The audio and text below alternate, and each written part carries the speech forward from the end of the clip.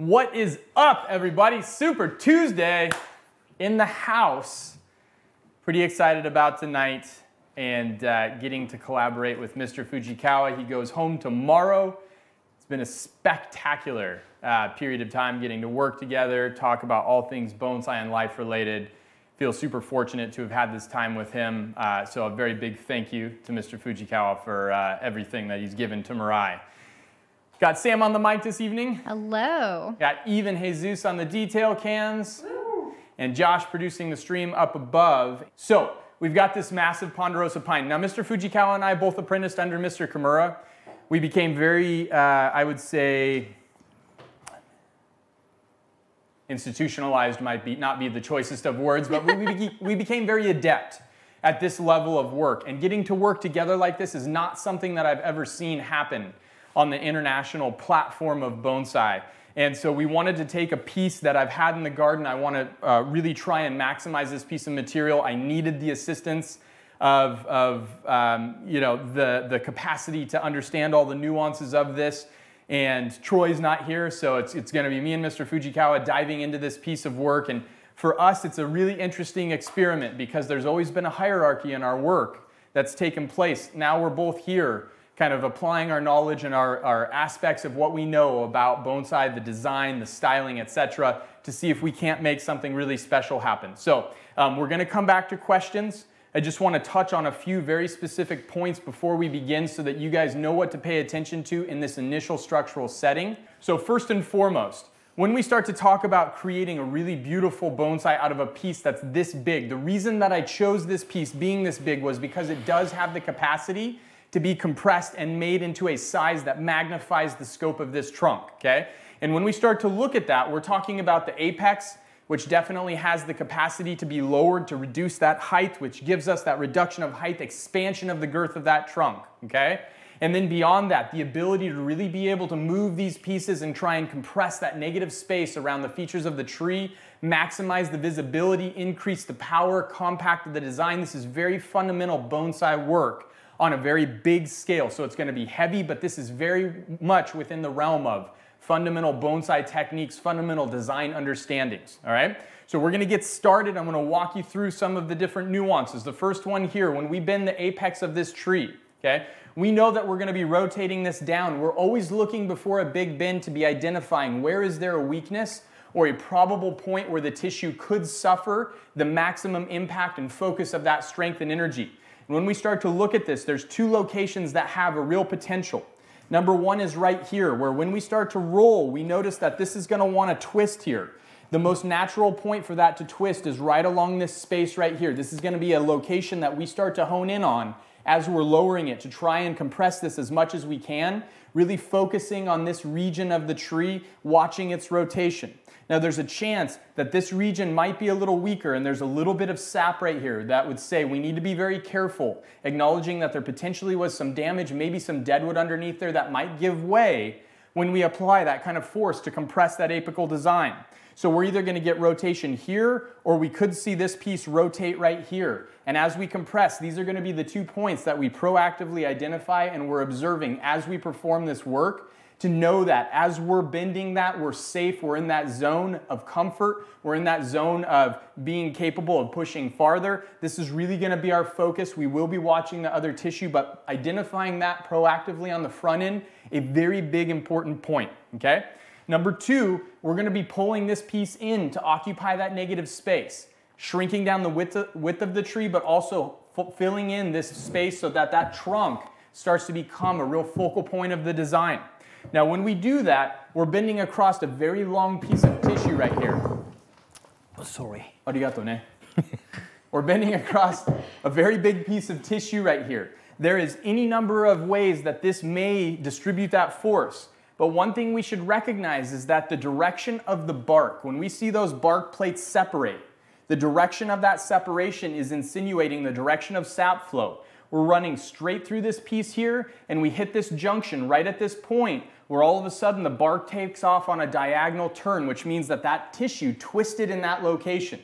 So when we're bending, if we're looking at the strength of a straight run of tissue, or we're looking at the strength of a, of a diagonal or a rotational tissue, the rotational tissue has the ability to open like a book. This is gonna be where we're gonna focus as we're bending this lowest piece, okay? So just cueing you into proactive identification to be able to head off some of those dangerous points.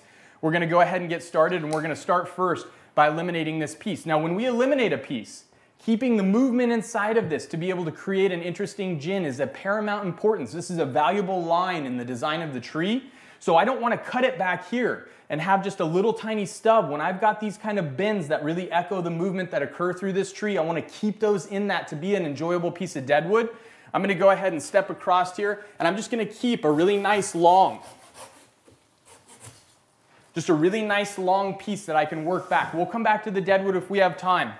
But let's go ahead and start from the ground up. We do the biggest movements first. If we have a mistake, if we have a tear, if we have damage, we're going to alter our ideas on the rest of the tree to compensate for that. We always take the biggest risks first, see what we're able to accomplish, and adapt our design concepts to that.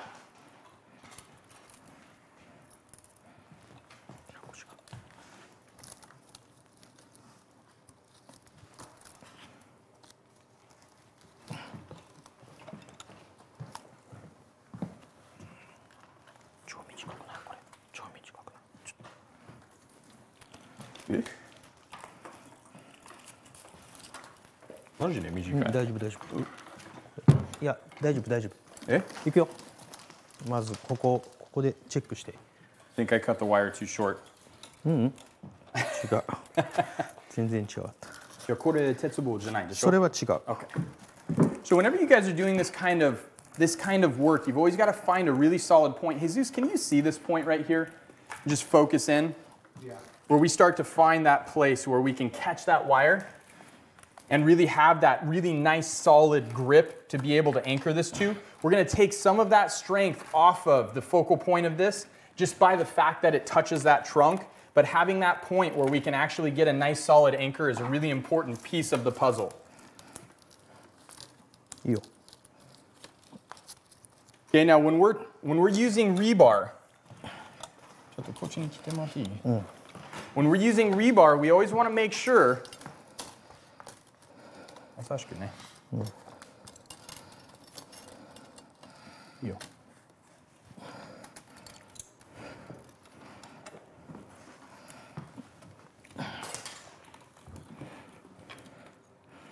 We always want to make sure that we've got a solid landing pad for the rebar to be able to apply that leverage to. Okay, now as Mr. Fujikawa starts to bend, we're going to be checking over there. I'm going to take up as much of the slack as I possibly can right off the bat.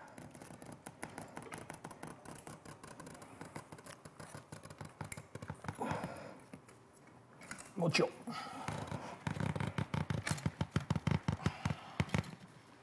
はい一回ストップはい。ちょっと待ってね。うん。まだまだ。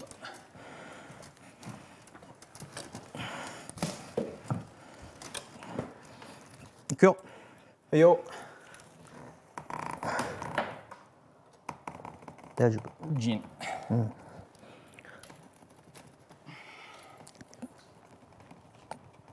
はい。はいはい。はいチェックしてまだ？まだまだ。ライアンさはいそのままそっちで見ててくれる？じゃんいいよ。いくよはい。そうそうそう。はいこのぐらい？そのぐらい。いそしたら閉めてやもうちょ。もうちょっと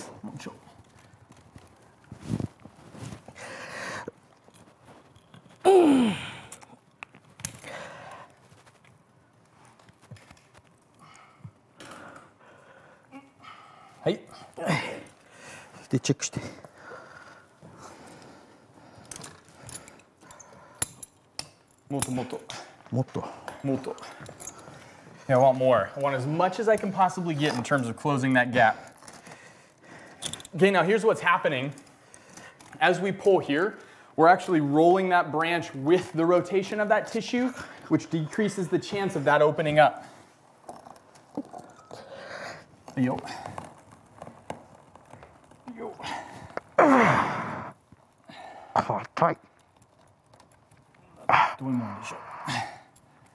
はいよ。よよしまだ？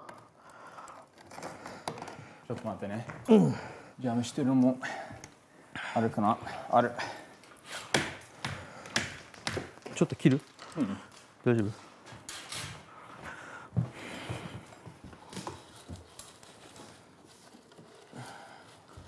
しいくよあよはい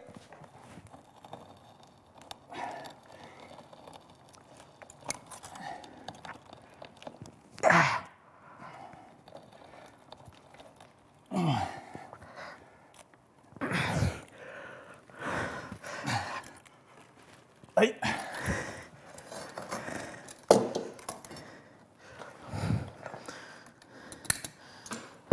これでまだチェックして。まだ。だいぶ中入れないと。引っ張れない。はい。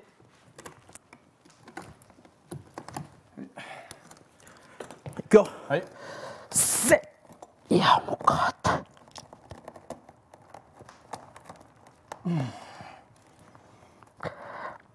ちょっと待ってではい。前の枝のだテンションが大丈夫かところ見て。っと待ってね。うん。これの方がいいでしょこっちは大丈夫？大丈夫大丈夫。全然。だってこっちにも合ってるから。一緒。一回多分ね。テストするよ。はいよ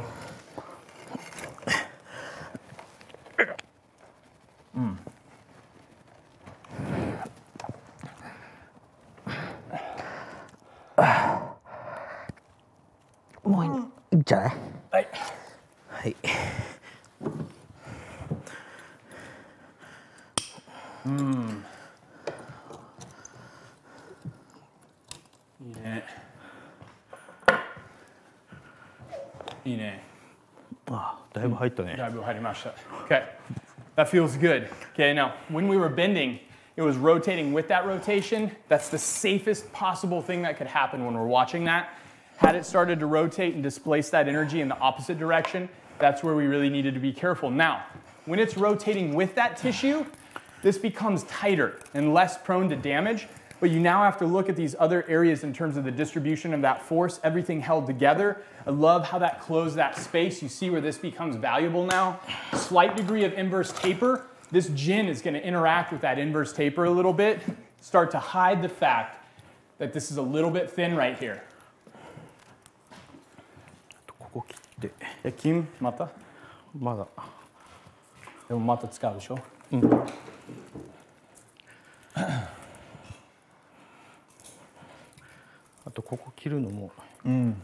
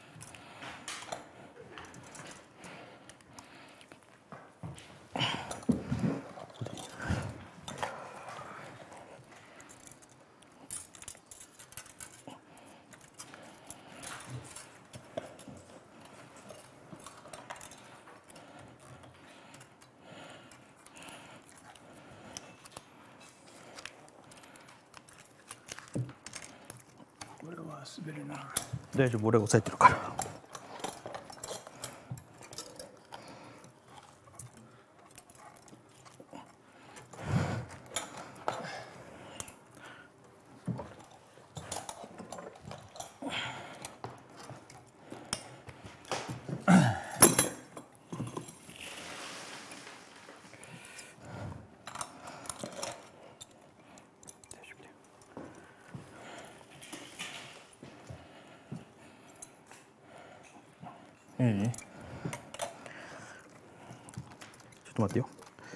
はい、いいよ。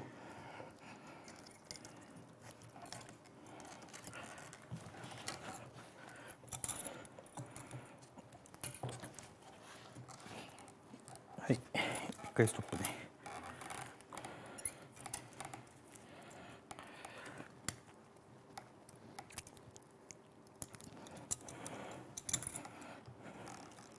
ちょっと待ってて、ね、はい。いいよ。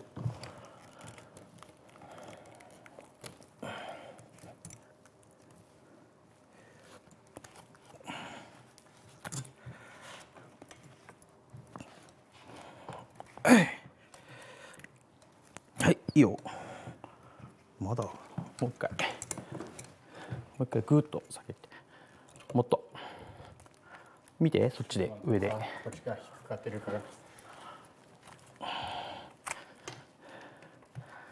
ちょっとライアンストップね。ちょっと待ってね。で。ちょっと待って。うん。思いっきり下げないと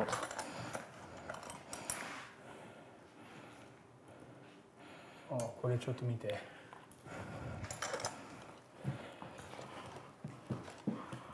下の。こっちがああああ。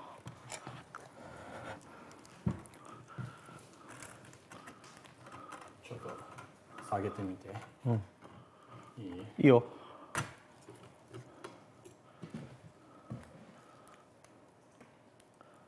わあ大丈夫だね。ああこっちが空いてるけど大丈夫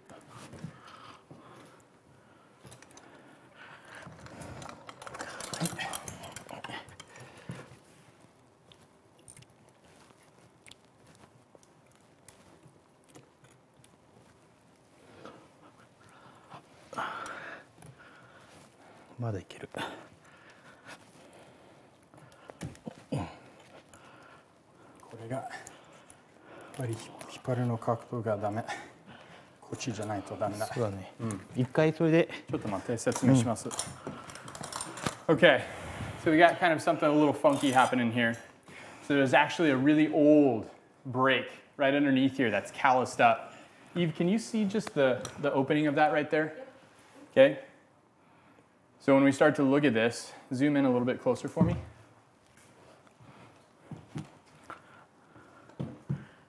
it on in. Come on in here, nice and tight. There we go. Okay, here you see it. Okay, so basically what we have is a point where probably at some point this was compressed, and now this is the place. You can see the callus on li- this lip, you can see the callus on this lip, and it's opening up right there. We got to be careful that, that that doesn't just come completely apart. So we're going to be watching this area as the danger zone. これでいい ここで止めた方がいいな。これでこっちで。待ってね。ちょっと待って。俺が逃がすからいや、これ引くだはけ引っあんま張っといてりあんまりそういう力かけないで方がいいでしょう。はい。もうちょっとコントロール。あのライアンは下ろしてくれれば俺逃がすからね。見てるよ。もうこれで抜けた。これでいいんですよ。抜けたね抜けた？抜けた。はい。そしてそれは？大丈夫。もうバリバリになってるけど、うん。でもそのラインが綺麗に？うん綺麗に入ってるよ。やっていけるよ。ちょっとストップ。いいんじゃない？まだいける？まだいける。まだいける。Uh, he's saying that it's still good to go. It's really starting to open up, but nothing big. Everything inside of there is dead tissue right now, so it's still plenty safe. でちょっと待ってね。もうちょい出してこれこれもうちょいはいはいこのぐらいうんいいよなるべく体の So whenever you're using rebar like this, if you can get this tight to your body and just let your body weight do the bend, you have far more control than if you use the strength of your arm. Like I'm doing like a power squat or something. ほらい Okay. まだいけるじゃん。まだいける。これピタッとつけた方がいいんじゃない？ここの角度がもうきついこっちに入っていかないとちょっとね、ここからそっちに引っ張る場所ないんだよね。引っ張るだから場所ない。この辺からこの辺からこっちに持ってくるしかこれがもうあとは伸びるだけだから。ね、でもこれはちょっと変わってこっちで引っかかるんじゃないですか？こっちで。ここ。ギュッと。こっちから。力はね。ね。ここ。こうにしますか？ここね。Okay, so whenever we're doing this kind of work, you've always got to be thinking about the changing forces because when that was up in the air, where we were pulling to in the back was a great angle. But as you start to pull that more and more forward, this angle starts to come back. You start to lose that pull capacity. Now we're going to change that to here, pull it away from that piece of dead wood and get far more pull capacity, but we're always changing as that compression is taking place.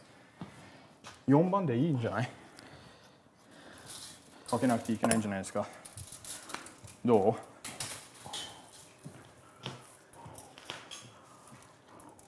?2 本かな？うん2本。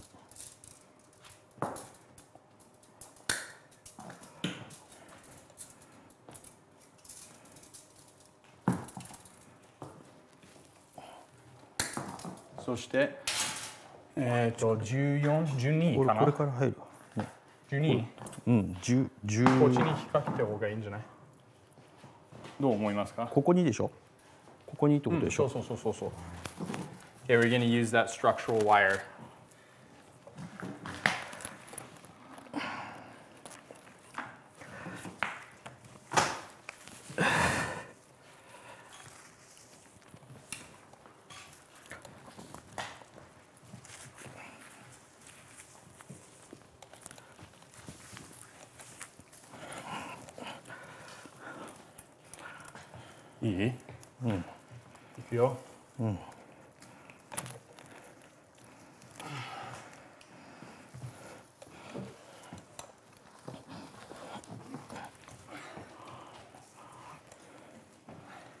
もう一本いく？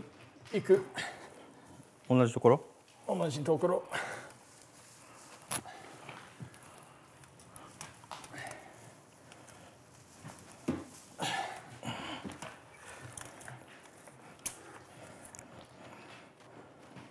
足りる？ちょはい。うんもういいよこのまだいいいまだいっていいよ、はい。そのぐらい。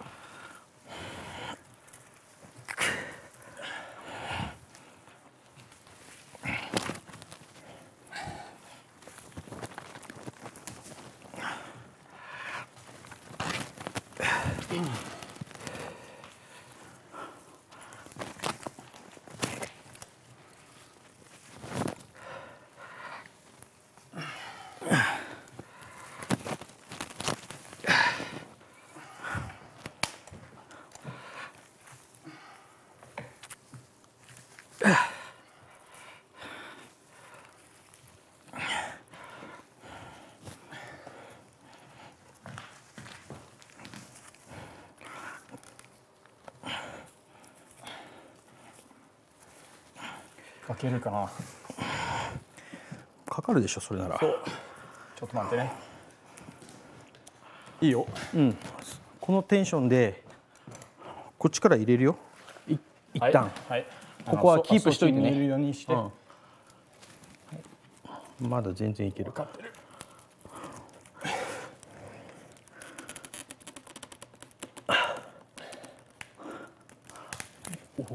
ちょっと待ってよチェックしてまだ大丈夫だねちょっと待ってね。こっちへ一回。はい。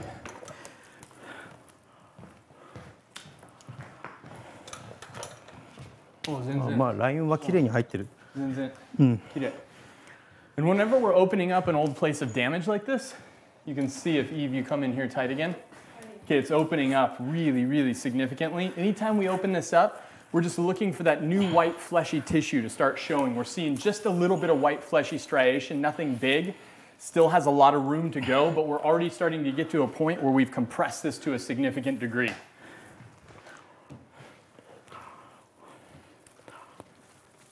一回下のやつ、やった方がいいかな。そうだねこれ決めてね、あの針金だけ巻いちゃってはい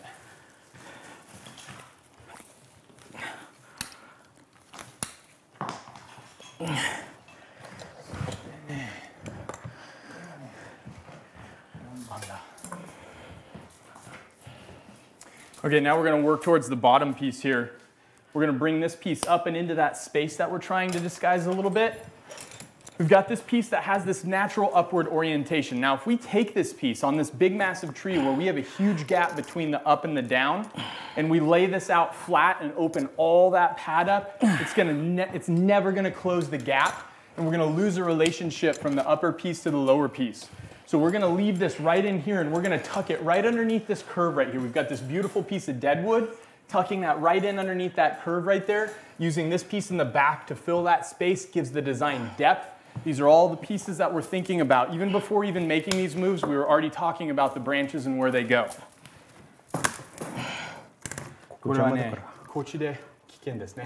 もう空いてる後らしくて、分かった、これは相当危険。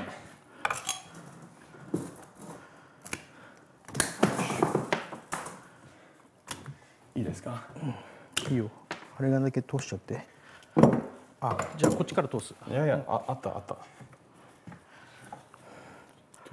うんいいよ。こんなもん？相当藤川さんの方が長いと。いけるでしょ？う、ちょっと待って。これちょっと。はいよいい？危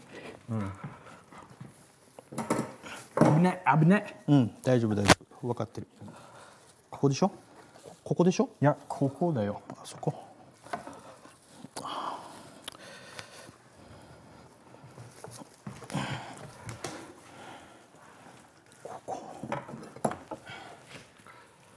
これ閉めないとそれかけられないと思うんですよね、あここね。お。オッケーオッケー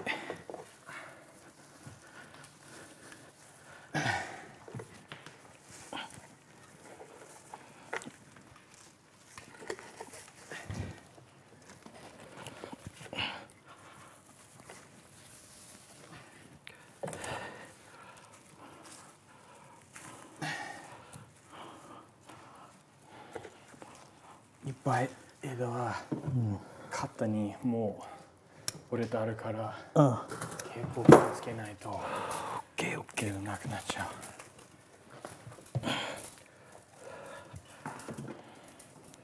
あれももう一本やらないんですかね？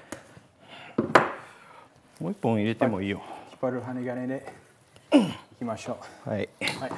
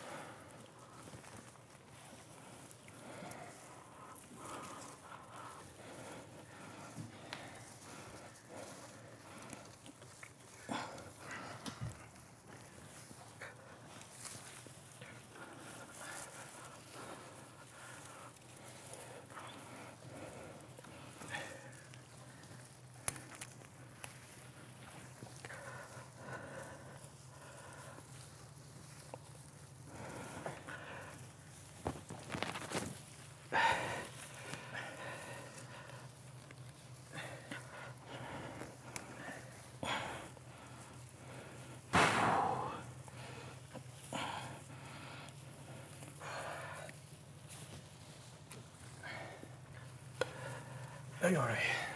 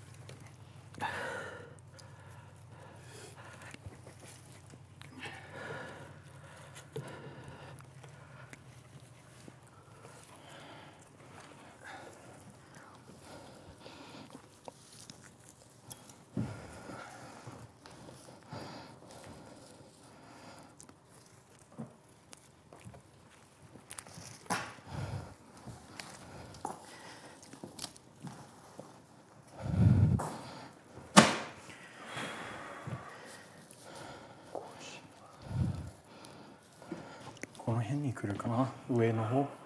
こっちに。これ？そう。上の方。上の方。こっちから来て、そしてこれ下がるでしょ。どう？下だったらこれ。そうだね。ここに、ないから。うん、ここに入っていくような感じでしょ。じゃあどこがいい？ここでいい？こっちに。うん。逆回りの方がいいんじゃない？こうこう回った方が。ここに引っ掛けてこっち回した方が。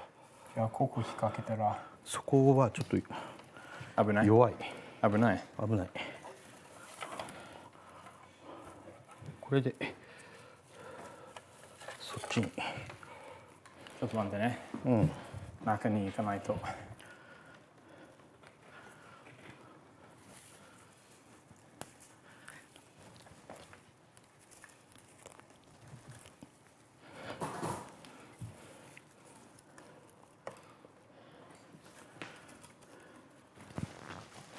よいくよはい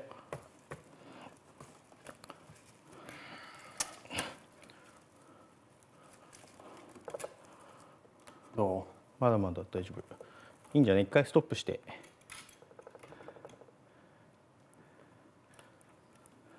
うはい。はい。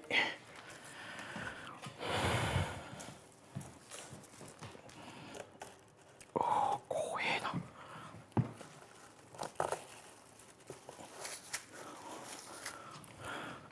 ライアンそこで見てて。うんもっともっと。もっとここっちから。はい。ちょっといくよ、うんせーのいいよ。はいよ。はい。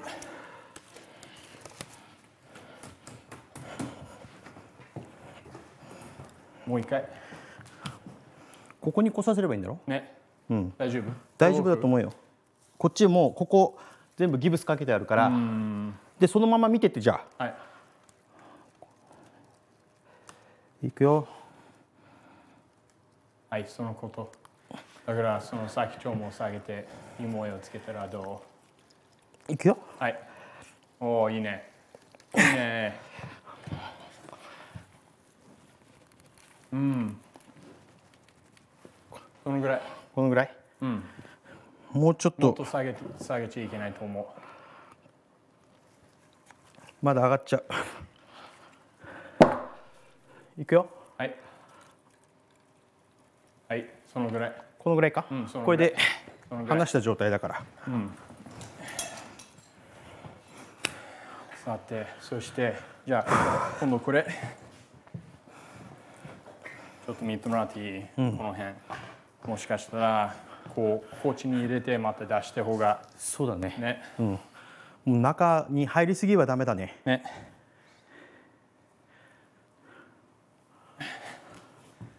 もうこれはちょっといろいろあるんで。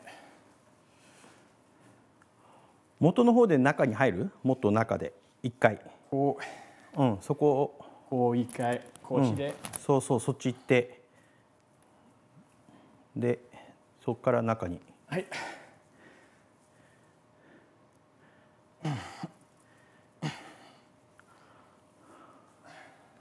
もうちょっとこう。もうちょい外出ないと針金のラインでねじり込まないとダメだね。これ。うんいいんじゃない、ん。足元がちょっと見えない、ね。少し見えるぐらいがちょうどいい。目を更新するときに、そうだね。じゃあこれはねここでしょ、これ流れ枝それともこれにしよそうだね。そっちの方がいいと思うよ、こっちはあんまり強くないから。う Okay, so now we're just kind of moving all of these pieces into these spaces. First of all, the piece in the back, giving us that depth right through that negative space in the center of the trunk. We don't want that centered. So from this solid point and this solid point, we don't want it right in the middle. We'll fix that when we come back and wire it. It's, it's for the most part in the place it needs to go, probably a little lower. This piece right here, sitting around the base of the tree, we took it into the space and brought the tips back out, which shortened that length, allows us to see the base of the tree, and again, play inside of that negative space to compress and create that power. So, what we were just talking about is which branch is going to give us that defining movement, that length in that defining branch. The one that he's working on right now, we're trying to occupy this space tuck it right up underneath that like we talked about. but for this piece, the lower branches are weaker. We actually have a better branch here to give us that flow, and that's where we're gonna kind of lean on for the length of this design to be able to get, generate that kind of asymmetry. どう？これ。この模様。こっちから見てね。でこれを。もっともっと上の方じゃないですか？そうそうそうそうそのぐらい。でこういうふうになればいいかな？そうそうそうそうね。じゃないですか。じゃあいいね。そしてこの線はちょっと嫌な。これがどっか何か、うん。ここはね。隠れちゃうこれはなこういうふうにすればいいってことでしょ？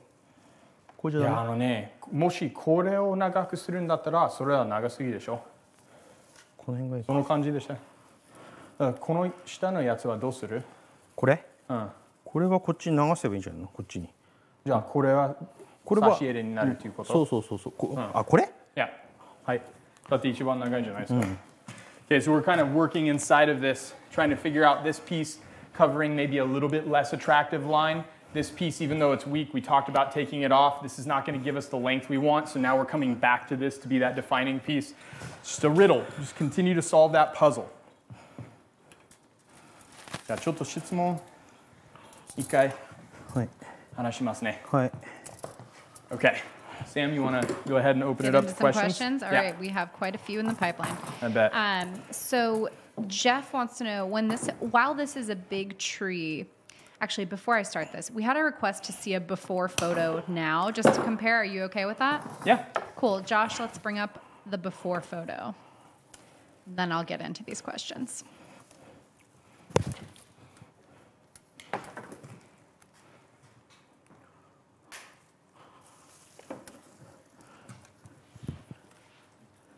You may not have it. Well, I'll go ahead and ask. So um, Jeff wanted to know, while this is a big tree, the trunk is not super wide compared to the current tree. Um, do you and Mr. Fujikawa see this as a masculine or feminine based design? これ力があるかもうちょっと柔らかいの木ですかえ力ありますよ So this is definitely so it's a, a trunk that has the ability to be powerful. what makes it look a little less powerful is the negative space around this piece in the trunk that has a little bit more slenderness to it. If we start to close up these spaces, you're going to start to see this trunk expand in terms of its proportion. And that's really what we're looking for. We see it as masculine. Cool. Um, Eric wanted to know did, and I, I didn't want to answer this incorrectly, why did you cut that first piece off? because it was now with the way that we've compressed it, it was this long. We want that flow moving that way. It would have come over the trunk and hid the best part of the tree. So taking that off and saving that movement in that as a piece of dead wood gives value, exposes the best parts of the trunk and the base of the tree, and allows us to establish that rightward movement. Uh, in that first big bend, Leonard said he heard some popping in the branch. How much of that is tolerated? Ah, right. So it all depends on how the tissue is tearing. Now, that was already a wound, so we had these two pieces of callus, and they just kind of opened up where there was already a natural weakening in the branch. And again, we're looking for the popping. People hear popping and they're like, oh, we're done. Well, popping is just starting to tell you that you're getting started, right? Because that popping, when you start to hear that, that's the old fibers, the dead fibers, the dry fibers breaking apart. So when you start to see that interior white tissue starting to tear and spread, that you have to be more careful. And we just got to the point where we exposed white tissue We would expose it far more, but we're already at a point where we've lowered it to a degree that we're happy with what we've got. Rennie wants to know what was the nature and feel of the pre stream design discussion between the two of you? the nature and the feel. ね、このデザインのことを話すときに、はい気持ちはどの気持ちありましたかこの木の流れを うんいや、藤川さんと私一緒に仕事するの気持ち。ああそれは楽しいなと思ったよ、ね。So we were, we've been talking about this. This wasn't something that we had actually p- planned on doing until after the stream last week. We, he and I talked about it, and just that it would be interesting to do a really big piece and um, and kind of use it as a, a manner and method of kind of. So there's there's a, there's something about apprenticing and, and studying with different professionals that not a lot of the world really gets to see underneath, sort of behind the curtain of what's happening. Uh, but when you see this kind of work where we both are very familiar, we both do this kind of work in our own practices, we, we kind of were raised, if you will, or groomed to be able to do this kind of work and do it proficiently, getting to see two people who can collaborate on a tree like this seemed like it might be something kind of interesting. I think we're both kind of feeling our way through it because we're both used to being the leader and kind of being in charge. So you can kind of see some of that give and take happening. Uh, but that's, that's really where the learning experience is for both of us. And we kind of talked about that, but I think we both were just really looking forward to getting to try, experiment with what this looks like. Yeah. Uh, Gabe wants to know if you will continue to bend these branches more over time. I mean, it depends on how much we how much we're able to accomplish tonight, but probably I would say this is the first. And anytime that you style a tree for the first time, you can never take it 100% of the way there. So the ability to continue to shrink this down as we get better back budding, as we start to get the shape established, as the tree mends its wounds from this initial styling, absolutely, I'm assuming it's going to be bent far more in the future. Leonard wants to know how much bending is too much for like how how how heavy is too heavy a styling? I mean, as long as the tree doesn't die or suffer ill impact, then I would say you've done enough. And this is where you kind of walk that line of saying, all right, I'm going to make this tree the very best it can be right now with all of the tools that I have. If that becomes the next starting point, the next time you touch it, you make it the best it can be at that point, the best it can be at that point. To a large degree, I think a lot of people tend to have tend to have the fear that in terms of styling, there's some threshold, right? The threshold would be in a branch when we go too far, expose too much of the tissue and it can't conduct water. The threshold would be when we have to do superficial moves to make it look finished and the tree's not ready for that in terms of its structure. But as far as just respecting the material and taking it as far as you can, as long as each branch is handled and handled with a mature understanding of that vascular tissue, then you can't go, you can't go too far because the tree's going to tell you its limits. これとこれですね。うん。そして下から。それ6番でいいでしょ。いや、4番ダメ。Uh, Gabe wants to know how long will the tree be allowed to rest after this and what's the next step? So the tree, in terms of resting, we'll, we'll let it definitely push out with new growth next year to make sure that all is good. Um, and then we'll wait until that growth hardens off until we've hit a seasonally appropriate time to be coming back and doing further work on it. But I would say if the tree shows any kind of weakening, then we're going to give it more time. If it grows vigorously and doesn't show any, any kind of sign of detriment to the styling, then we can, do, we can push farther faster. So it's all up to the tree. The tree carries the load. You read the tree. Um, Dan wants to know how long do you think these large bends will take to set? Well, so this is the interesting thing about a pine that is meant to bend and is adapted to being, being capable of being bent, tearing, and patching its damage very quickly is the bigger the bend that you make and the more, to the degree that the branch thrives after that move, the more damage that you do in terms of stretching that tissue, the faster callus forms around that and holds that bend. Uh, Terry wants to know where did this tree come from? So this is a Randy Knight special deluxe, super duper, who knows how he got it out of the mountains kind of a gig. And um, I, I, couldn't tell you where it comes from. He doesn't divul- divulge that to me because I've got That's too big of a mouth. Yeah. Um, so Jeff, this is about the um, that wound that was reopened. Um, Jeff wants to know: Can an opening like that fail a few hours or days after the bend is made, like coming into the studio tomorrow and finding that it has split open overnight? Not typically. That's a great question, but not typically on a ponderosa. That's not something that we generally see on a ponderosa.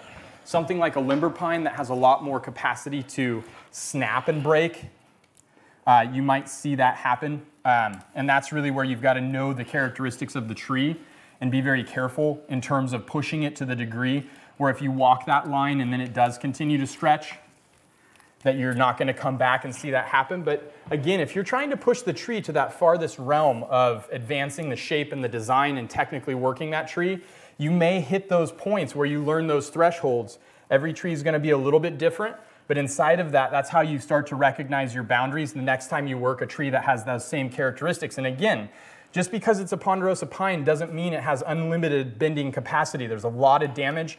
The branch that Mr. Fujikawa was working in the back has some real damage on it that we had to be really careful about. He didn't see it at first. We continued to kind of work, then he acknowledged that it was there. Those are the kind of things that when you're doing a big tree like this, because the scale is so big, it's hard to, to notice and acknowledge all of those pieces, and that's where really collaborating can be pretty powerful. Uh, next up, this is a little bit off of what we're doing tonight, but a bunch of people want to know. Mel asked, um, how are you going to pot this in what, and how are you going to make it stay upright? So this tree is actually, in terms of repotting challenges, this tree is actually a pretty light challenge in my mind. Just based on the fact that the base is there to support it, there's a lot of room to anchor. It's a big tree, so it's gonna be a larger pot that gives us a bigger footprint. When we start to look at all the factors, this isn't a dramatic this isn't going to be a dramatic repot. Chances are the upper portion of the soil, you've got the base down below. There's a root pad there that we can just fold down. And you guys have seen me do that on, on Mirai Live several times, where we just sort of tease that out, fold that down, and recreate the new top profile of that soil mass. So I'm not at all, I actually look at this and I'm like, thank goodness this is going to be a lot easier than some of the other things that we get the stupid idea to do on Mirai Live. uh, Rafi wants to know, uh, does this design have a defining branch? He's trying to guess if it's going to be a harmonious or tension design. So I think the defining branch is down there, but I don't know that we feel completely confident in which one it's going to be. And I think Mr. Fujikawa is getting ready to kind of tease that out. We've talked about it being multiple different branches. I think we just need to see what happens, see which one's going to be the better of those. Uh, Bill wants to know, uh, do you not need raffia, raffia for these bends? I would say you don't need it, and in fact, you don't want it, okay? Because when you talk about raffia, you're talking about applying a force on a point and compressing that point so that it doesn't break, right? When you're talking about a pine that's very soft, that tears instead of breaks, if you apply raffia to it, the raffia doesn't stop this tearing from taking place, right? And so if you can't see it, then you have no notion of the threshold. For example, the lip that opened up over there, it started to open up like this, right? If you covered that in raffia, how do you know when you've hit the white tissue? How do you know what the popping is? How do you know when you've started to get into the actual water conductive vascular cells? That's where raffia on a stretching tree, on a pine that elongates, that stretches, that flexes instead of snaps, is really detrimental. I think we overutilize and kind of abuse raffia as a tool. We think it's going to save us in every bending operation and that's not true. In fact, it would be very detrimental to be using it here. Um, Gary O, I think he just wants to confirm you're going trunk right, everything else left. Though maybe that's reversed because he's looking at it on the screen. Definitely trunk right, Yes. defining branch right, apex, we don't know, but there's capacity for dynamic in this piece for sure. David wants to know Are there any branches in the apex area on the right side that could be lowered? Yeah, we're just getting there. You just got to give us a little bit of time. This is a ginormous scope of work. We just got a couple more questions and then we'll let you get back to it. Um, we have a couple questions about that uh, jin that where you had made that first cut. With Terry wants to know with the jin crossing the trunk, are you concerned? Um, would you possibly want to shorten it? And then Su- Sujata, sorry if I pronounce your name wrong, um, says by bringing the lower branch and you've created a circle, is this okay in terms of design? Uh, right here. yeah. Um, so this, first of all, won't be so long that it crosses the trunk. We just leave it long because when we start to break it back, we know that as we're breaking it back, we're probably going to be ending up much shorter to tease out that character. So we always leave it longer before we start that reduction process. As far as that circular form, I'm guessing once we start wiring, you're gonna watch that disappear. And if it doesn't, then we're gonna change the structure to trade off and move that round sort of circular form out of the design. Uh, Scott wants to Hey, know. hang on oh, just one sorry. second. ねえさ、これはどどこそれ後ろにじゃあここ、うんそこしかないと思うよ、 Okay, I'm ready, Sam. Cool. Uh, Scott wants to know with this heavy of styling, how long will the tree need to recover before considering a first potting? Yeah, that's a great, that's a great, great question. Um, I think it is very tough to know, and again, we're going to let the tree tell us what what it has the capacity to facilitate by the strength of the growth af- after such a dramatic styling. Okay, so you know, when you guys are watching this, it seems super gnarly, but you have to recognize that this tree is, is very healthy and recovered from the, the collective process. And this is, this is the kind of heavy work that has to happen for a tree like this to become a bonsai. You can't gradually bend this, just a little bit at a time. You, you have to perform that first piece that sets that bar here. You let it grow on that. You then evolve it and set the bar here. And this is how you build a tree like this. And we say this all the time pines are built, not created. We're definitely in a creation process because we have so much more built on the tree already, naturally existing. But we are definitely going to have to focus on making sure that this tree thrives from this operation. It will go into a greenhouse. All of that consistent care is going to be worked out. So that's really where our focus will be after this piece of scope of work. Uh, Bill wants to know are there any compensating things that will be done for watering the tree with the angle it's now in? Um, water very carefully. Uh, and then um, we will just take this last question and then let you guys get back to it. Rafi wants to know: Is this is this monster staying outside, or will it need protection? Now he knows why we're building a new greenhouse. yeah, yeah, right, right. That's right, Rafi. Um, no, this definitely is not a piece that I think I would put back outside because it's just poor form for a tree that you've taken to, I would say, we're, we're not going to push this to the brink of survival by any stretch of the imagination, but we're definitely going to tax this tree to a point where putting it outside would be an unpredictable outcome. And from that perspective, we don't ever roll the dice on a tree when we start to style it to this degree. We make sure that we take good care of it. We ensure its health and its successful recovery.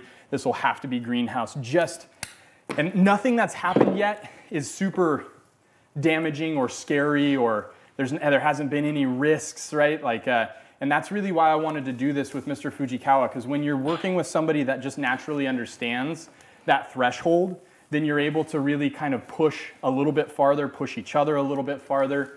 And, and this is a piece that the work so far has been relatively smooth and relatively easy in terms of what this, what this tree could potentially tolerate.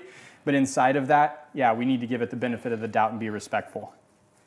Cool. So I'm going to let you let me know when our next question block will be. 藤藤川さんは言いたいことありますか？いやまあ ライアンとコラボをしようと思ったのはあのちょっと仕事を、はい世界大会の時とかにこう手伝ってもらった時に、はい。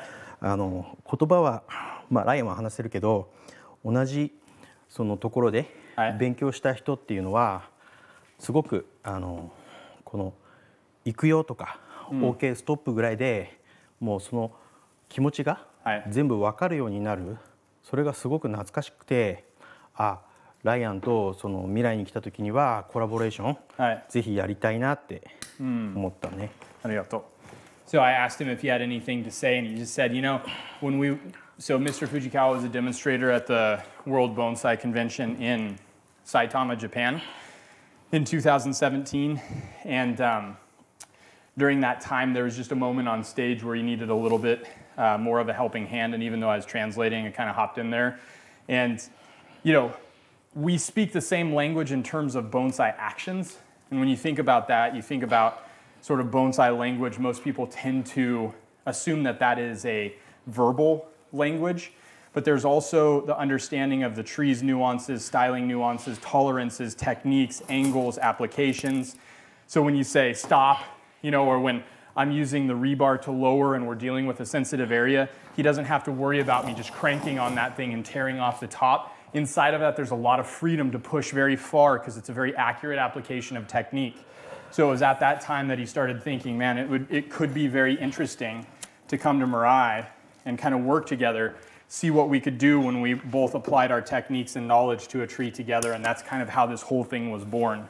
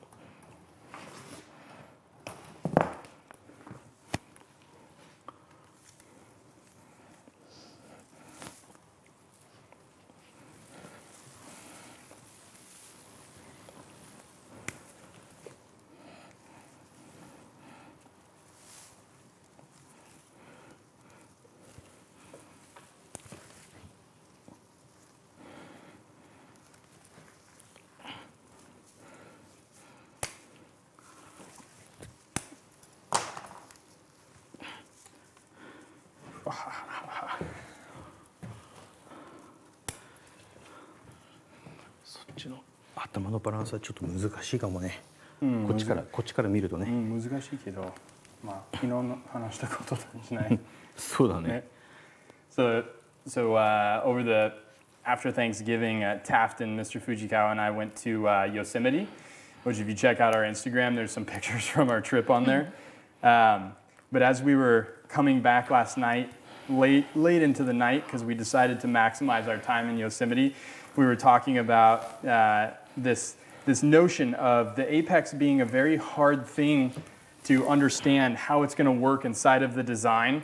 You can make predictions, you can give it a movement in a direction, but it never looks quite right. Like looking at it here, he was just saying, that looks like that's going to be really challenging to kind of figure out how it fits into this design. And I was just reminding him of the conversation that we had last night where we both acknowledged, you know, you kind of stick with the design knowing that you can fix it once you get to this level of technique and understanding and experience. You can always come back and adjust it and fix it, but you stick with it until you actually see for yourself because at some point you're going to look at it and you're going to say that doesn't look right and you're going to want to fiddle with it and you're going to want to move it, but it's not time yet. It's not time for that. It's going to lay down over these branches that need to be wired, so we're just taking our time wiring these branches, laying out the pads. To some degree, it's a little bit of a looseness to the way that we're laying them out. We'll come back in and kind of tighten it up as we start to understand. And it's very foreign to me to be working with somebody at this point because I'm thinking, what does the defining branch look like? And I didn't make it, and that sets the tone for everything else. So this is an interesting little play and experiment here to see how this all starts to work out as we kind of work through this.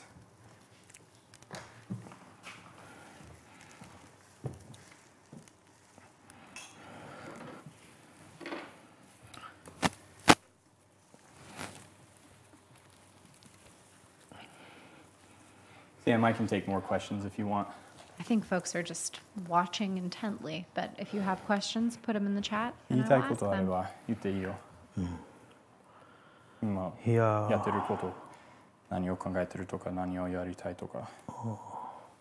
I was just letting Mr. Fujikawa know he can talk if he wants, if he's kind of what he's thinking about as he's working over there. Uh, John wants to know, um, Ryan, you'd said this work right now is easy, but there are two professionals working up a sweat. And really in relation to this tree or one like it. No, no, no, no. I was saying for the tree, it's easy. Oh, For the tree, it's easy. No, this is never easy. Look at this freaking monstrosity of a tree. It's an absolute, it's an absolute nightmare. I guess that answers the second part of his question then, which was, what do you consider to be difficult work? Ah, no, this is hard work. Hard work. Not it. So, in all honesty, this tree had all the pieces in place to naturally bend. There's no wedge cuts. There's no removal of tissue. There's no rebar on the tree. Had the places to anchor. Had all of the pieces in play to be able to do something really interesting with it, and interesting from the perspective of dramatic, right? But when you start to look at it, just the kind of, and, and we did another big Ponderosa together the first day that Mr. Fujikawa was here.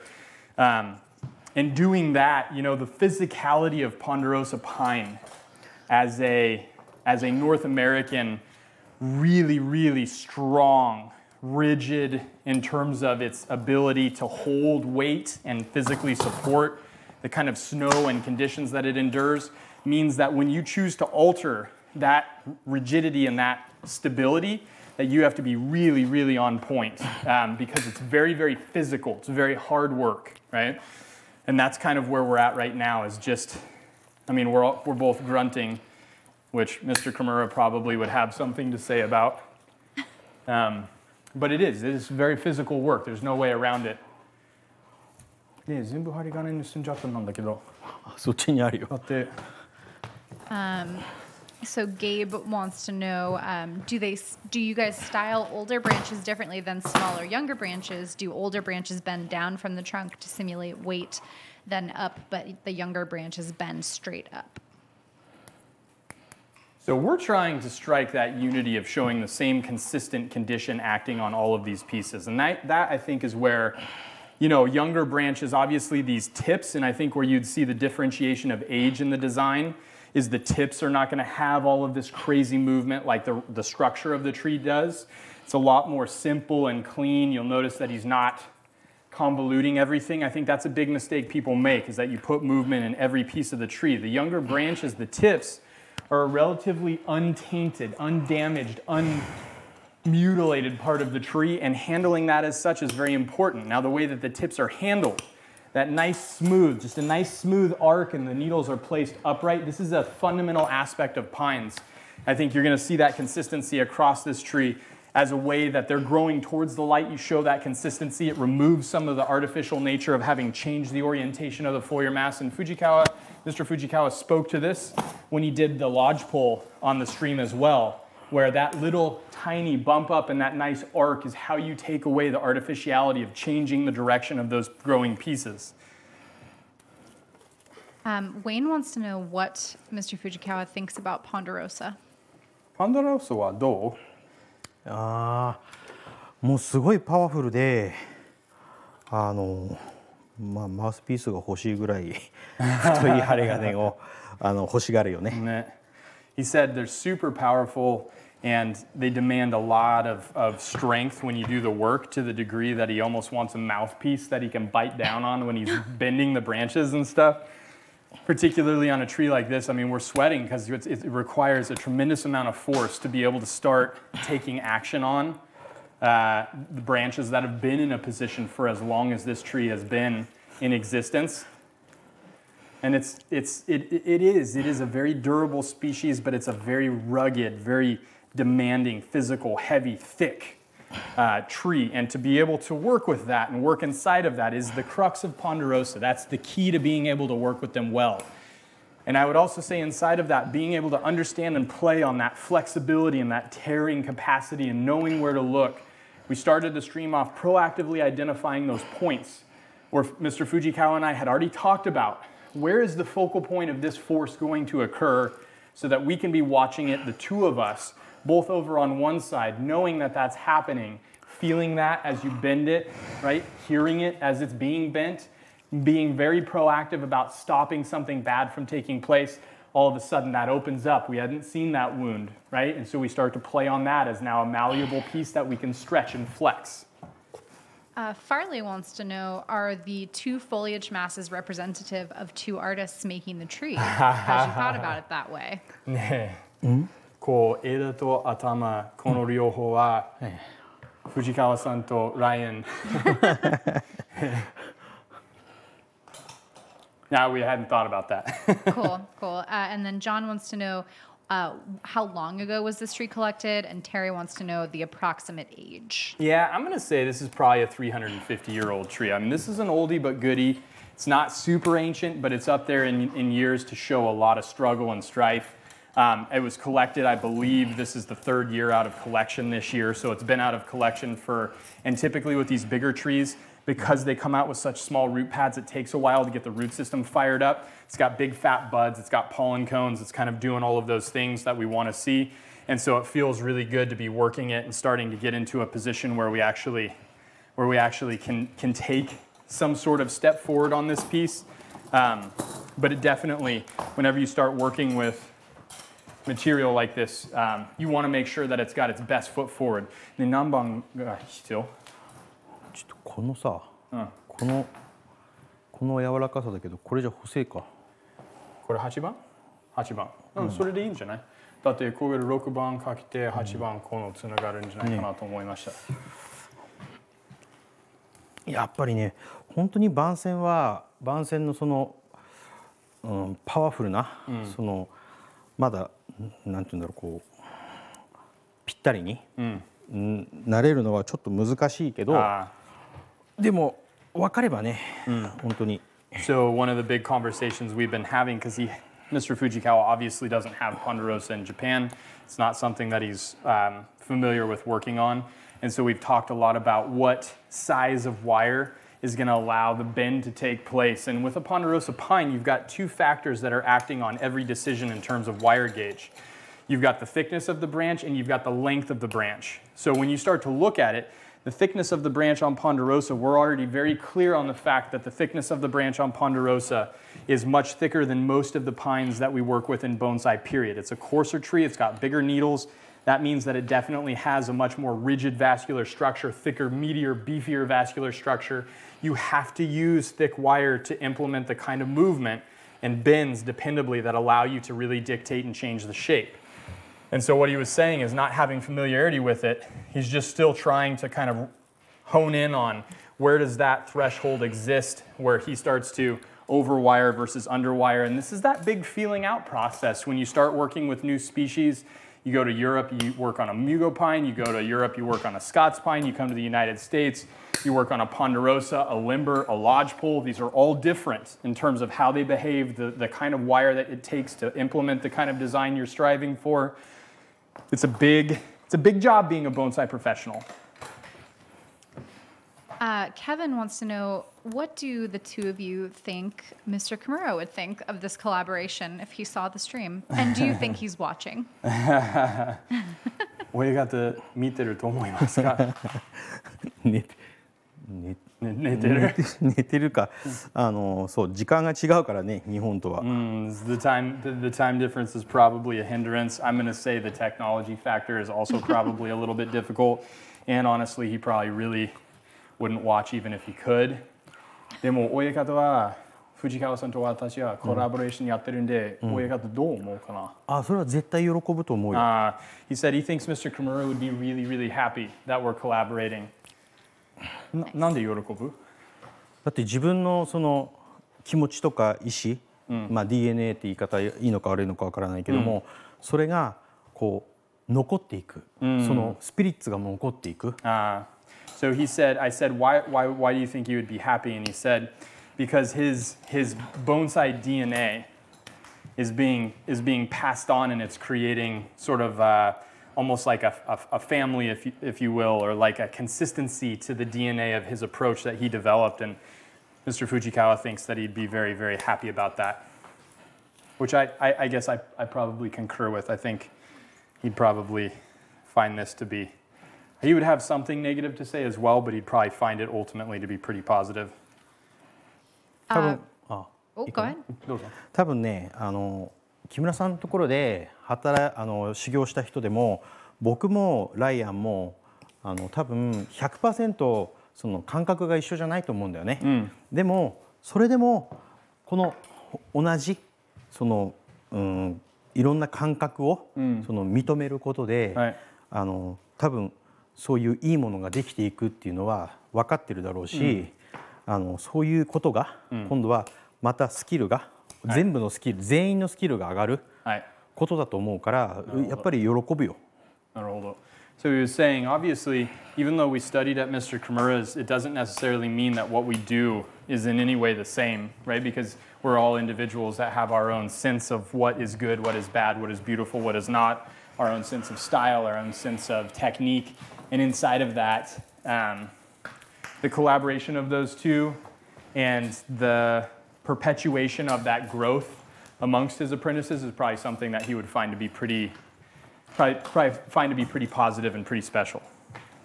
Uh, Roland wants to know Was the tree positioned like this in the garden for the past three years? No, no, no. Sitting down on the box, we literally uh, had a lot of other things that we had to get done today. We brought this in 30 minutes before I had to go get Taft, bolted it together, came up with a very loose rendition, but this is very familiar to us. You have to, you have to recognize we didn't sit and ponder this piece of work for hours and hours on end.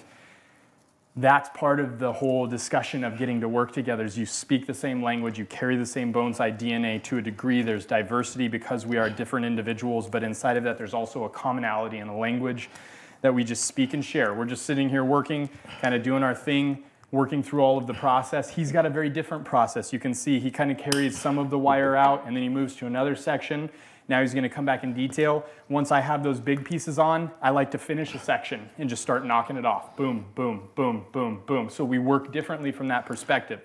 Rebar action, awareness of damage, all of those things, you saw a very common uh, methodology. Wire, pulling wire, using the rebar. We can both do that very proficiently. It's not, that's not foreign to us. And so you get to see those commonalities, you get to see those differences. Very, very valuable. I'm learning a lot. Uh, John wants to know what species in Japan is most like a ponderosa. ねえ日本に どの種類はポンドロスと一番近く似てるハイマツじゃない、うんまあそうだねうん灰松の黒黒だね 黒の灰松黒。黒の灰松でも黒松じゃないでしょ？いや黒松だよやっぱり。黒松っていう？うん黒松だけど、その灰性が入ってるっていうの、相性はどういう意味？うん、その性性質。性格がある。はその背が高い山成長してるのやつ。そう雪の中で多い黒松とかは、あのこういうふうに柔らかい、So there's a, a species of pine in Japan that's not commonly utilized in bonsai that most people don't know about. It's called a haimatsu, which, which literally, although we, right, it's, it's not named after an English name for high being like this, like height. It's not what it means, but what it ultimately translates out to is, is a high elevation pine. And he said in the, inside of the high elevation pines, there's a, a shiro, a white, there's a kuro, there's a black, and it's not a multi-flush pine, it's just, it, it would be like a Pinus nigra, an Austrian black pine, right? It's like a high elevation black pine. He said this is very close to the high elevation black pine in Japan, the Haimatsu on the kuro, on the black side.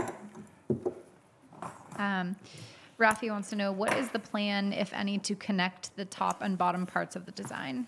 I mean, I think that's kind of where we're sort of where we're having to dial in, and this is really where when you start to see this, you put it, you put the structure where you think it's going to go, and then you just start working. You start chipping away and chipping away and chipping away and chipping away, and as you chip away, you get closer and closer. You learn more. You learn more. You start to see how this design comes together. He's going to focus down there. I'm going to start to focus up here and probably start working on the apical region to see if we can close that gap and understand that. I don't know quite yet. I don't not not quite sure.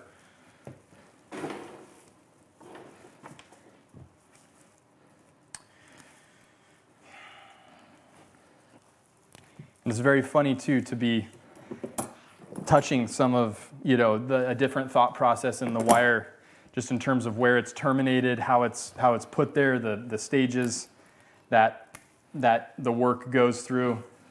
This would be, I would say, a very big difference.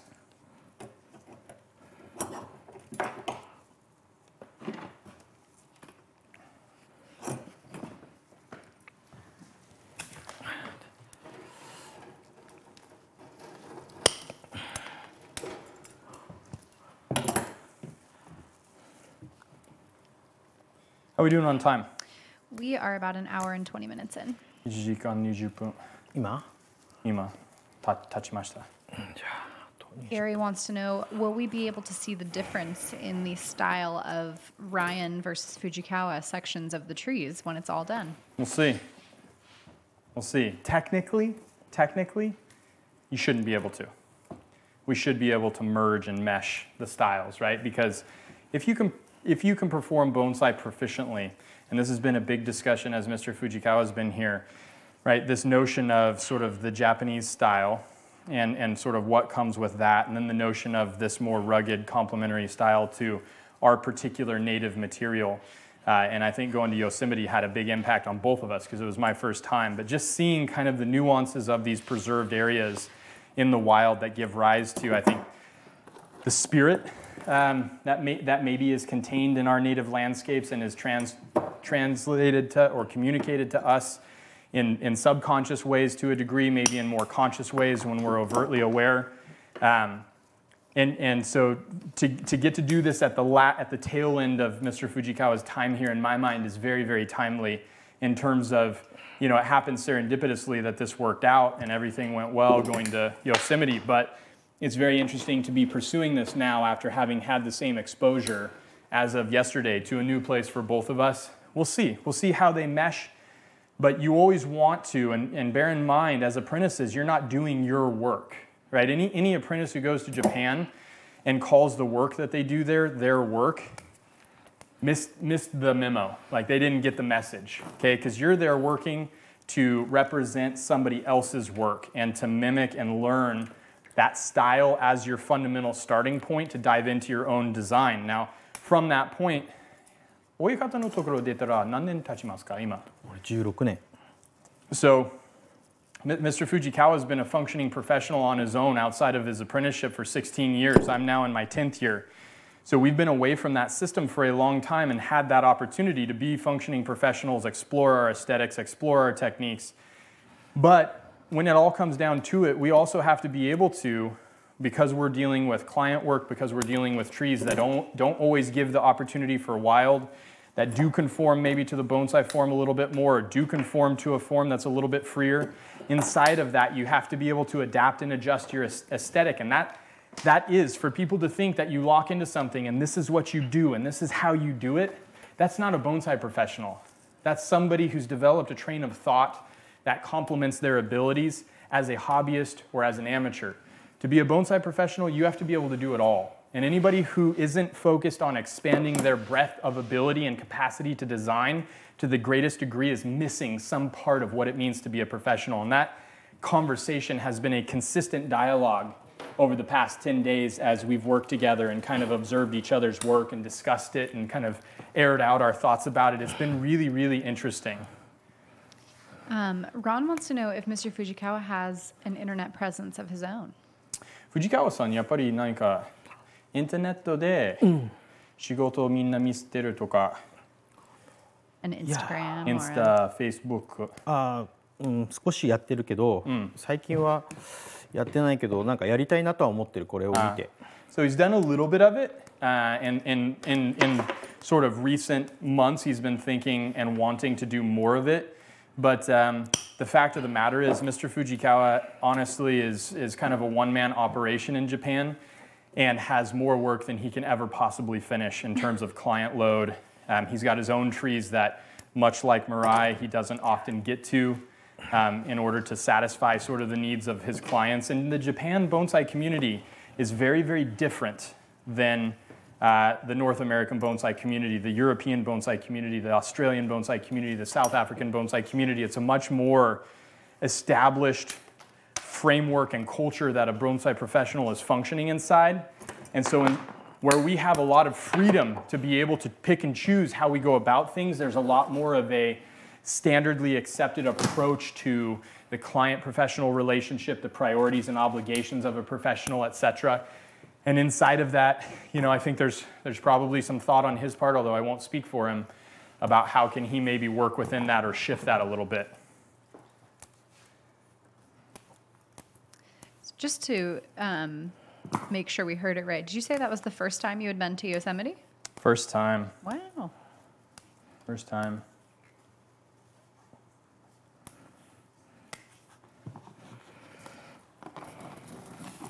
First time, which I'm, I was actually pretty sheepishly embarrassed to say. Well, people in the chat are like, wait, really? Yeah, no, it, it was. And I have to say this. I have to say this, and I'll ask Mr. Fujikawa what his thoughts about it were. But I have to say this in terms of Yosemite. I knew it was going to be spectacular. I've seen pictures, I've seen videos. Um, but when you think about discussing the native North American landscape, to not go to Yosemite, you know, for, and this is, again, like I lived in California for, for four years during college. I spent a lot of time in the Sierras. I was always outside of Yosemite because you obviously can't collect there, and I would never want to. Um, there's actually not that many trees that would make great bonsai there as much as people want to romanticize that. It's not the right conditions for great Yamadori. Um, but I never went because it was time away from being in the mountains collecting and kind of doing more bonsai related activities. Shame on me. Shame on me. But, but inside of that, I think a place like that finds you when you're ready for it. And, uh, and this trip, for whatever reason, the same thing happened to me when I went to the bristle cones, the giant sequoias, and the coastal redwoods in, in one single trip in 2012. December, uh, almost the exact same week in 2012, got absolutely crapped on by a blizzard getting through Reno trying to get to the, to the White Mountains to get to the bristle cones. And, um, you know, found myself there through the blizzard in a fresh foot of snow, nobody there, and blue skies. So we showed up in Yosemite. The, the rangers told us not to come because the conditions were so gnarly. They got like uh, three or four feet of snow on over, over the week up to Thanksgiving and particularly on Thanksgiving Day. We went the day after Thanksgiving. It was mandatory chains. The, the roads were icy, snow packed. Um, it, it, was, it, was kind of, it was kind of a nightmare. Not a nightmare I, li- I do have some pride in being a Colorado boy and having learned to drive in the snow, but there were so many people that didn't have that capacity that that was actually what was dangerous about it. Um, but we, we kind of saw the valley on Friday very briefly. There were too many people, so many people, that it was almost unenjoyable. Um, so we went back, we got some sleep, we hiked up and saw the grizzly giant, which is by far the most spectacular single giant sequoia that exists in the world. Um, and it exists in a grove of giant sequoias, but not a very impressive grove of giant sequoias until you get to the grizzly giant and you recognize, like, oh, that's what ancient looks like. Um, and I don't have a picture of that on our social media, but I took some that I can show. Pictures don't do it justice, obviously, as they never do. But when we were hiking up to the Grizzly Giant, so we came in on snow on Friday, freezing temperatures, I think it was 12 degrees. Uh, Saturday, it started raining, so we hiked up to the Grizzly Giant in three feet of snow and torrential rain. We were soaked literally to the bone. Our boots were full of water, our clothes were saturated to the skin. It was a seven mile round trip because the road was closed to hike into it. Uh, and it was epic. It was like the best, gnarliest thing ever. Uh, and then we ended up on, on yesterday, on Monday, going back into the valley on Monday. Nobody there, supposed to be raining, clears up, blue skies, snow, sun, warmth. Watched some people climb on El Capitan.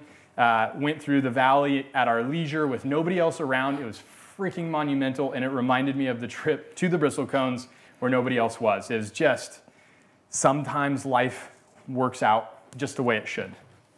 Um, I'm going to ask this, even though we're trying to keep questions very on topic to this Ponderosa. But um, Marcia wants to know if you saw any oaks while you drove down through Oh, yeah. California, and and what you thought about it.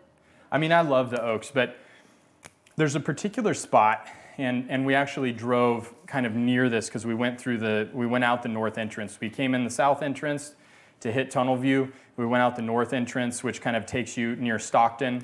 And uh, there's a very special place right along the foothills outside of Stockton that, in my mind, has the best oaks that I've seen in California in terms of their shape and structure.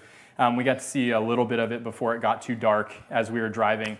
But the, the oaks in California, in my mind, are equally as impressive as any other ancient or you know extremely old, very characteristic tree in the California landscape. And um, I think you know Mr. Fujikawa continually said, "What what is that?" And I said, "That's an oak." I said, "What is that?" That's an oak. Right? It had a big big impression, I think, on both of us. ね、オークはどう思いましたオークのやつ。奥って何あれはね、あのそのまだ葉っぱがついてるな木いっぱいあったんじゃないですあーはいはいはいはいか。はいあの臓器みたいけど、ん 葉っぱを落とせないのあやーうんうん。どう思いましたあれもね面白いなと思った。やっぱり、うん。そのなんだろう。日本は結構その柔らあーとああいう葉っぱがついててこう硬そうなうん。やつっていうのはそのなんだろう模様とかがええ。こうなかなかつきにくくてやっぱり時間はかかるんだけれどもその中の自然の中にあるやっぱりその姿っうん。ていうのは、あのこう自然の曲がりが本当に表現されててかっこいいなと思ったよ。He, he, he really found the oaks to be incredibly satisfying to look at just because they're extremely hard. There, and the, there are oaks in Japan or trees that have that same broadleaf evergreen um, capacity and the time that it takes for the movement to be put into the, the character of the tree makes them very, very interesting to view in terms of his thoughts and perspectives. 針金バラバラになっちゃったんで、もう分かんなくなっちゃった。 そうちょっとこれ切ってくんないよし、ない。Uh, Farley wants to know: Is this considered structural work? How much more compaction are you guys looking for on the foliage? This is no longer structural. We're now secondary, tertiary right now. どのぐらいああとどのぐらいもっと潰したいとか締めたいっていう気持ちありますかアメリカいやいやこの木あこの木？そう。あとどのぐらい締めたい？そうそうそう形。あ形？うん。いやこれは今日はこのぐらいでいいと思うよ。これはこのぐらいでいいと、うん、それでやっぱりこの盆栽って生き物だからよく日本では盆栽とあの話をしなさいってよく言う言葉があってさ、うん。はでそれはやっぱり自分の思いを自分が思った形だけ全部それを、うん、やってしまうとそのさあ一箇所に針金置いとけばいいよ。ね。その木のことを考えてあげることがやっぱりその盆栽のいいところなんだよね。話聞くということそはいいところを出すななだけじゃなくて自分のエゴだけじゃなくて。うん。それを考えてあげればあのいいことだから今日はここがもうこの木のうん一番いいその状態。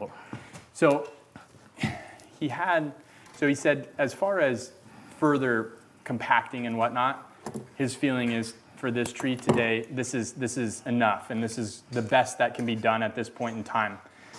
And he said, in, in terms of Japan, there's kind of a, a saying of you need to speak with the tree, but it's not in terms of the conversation, right? It's not in terms of like talking to the tree.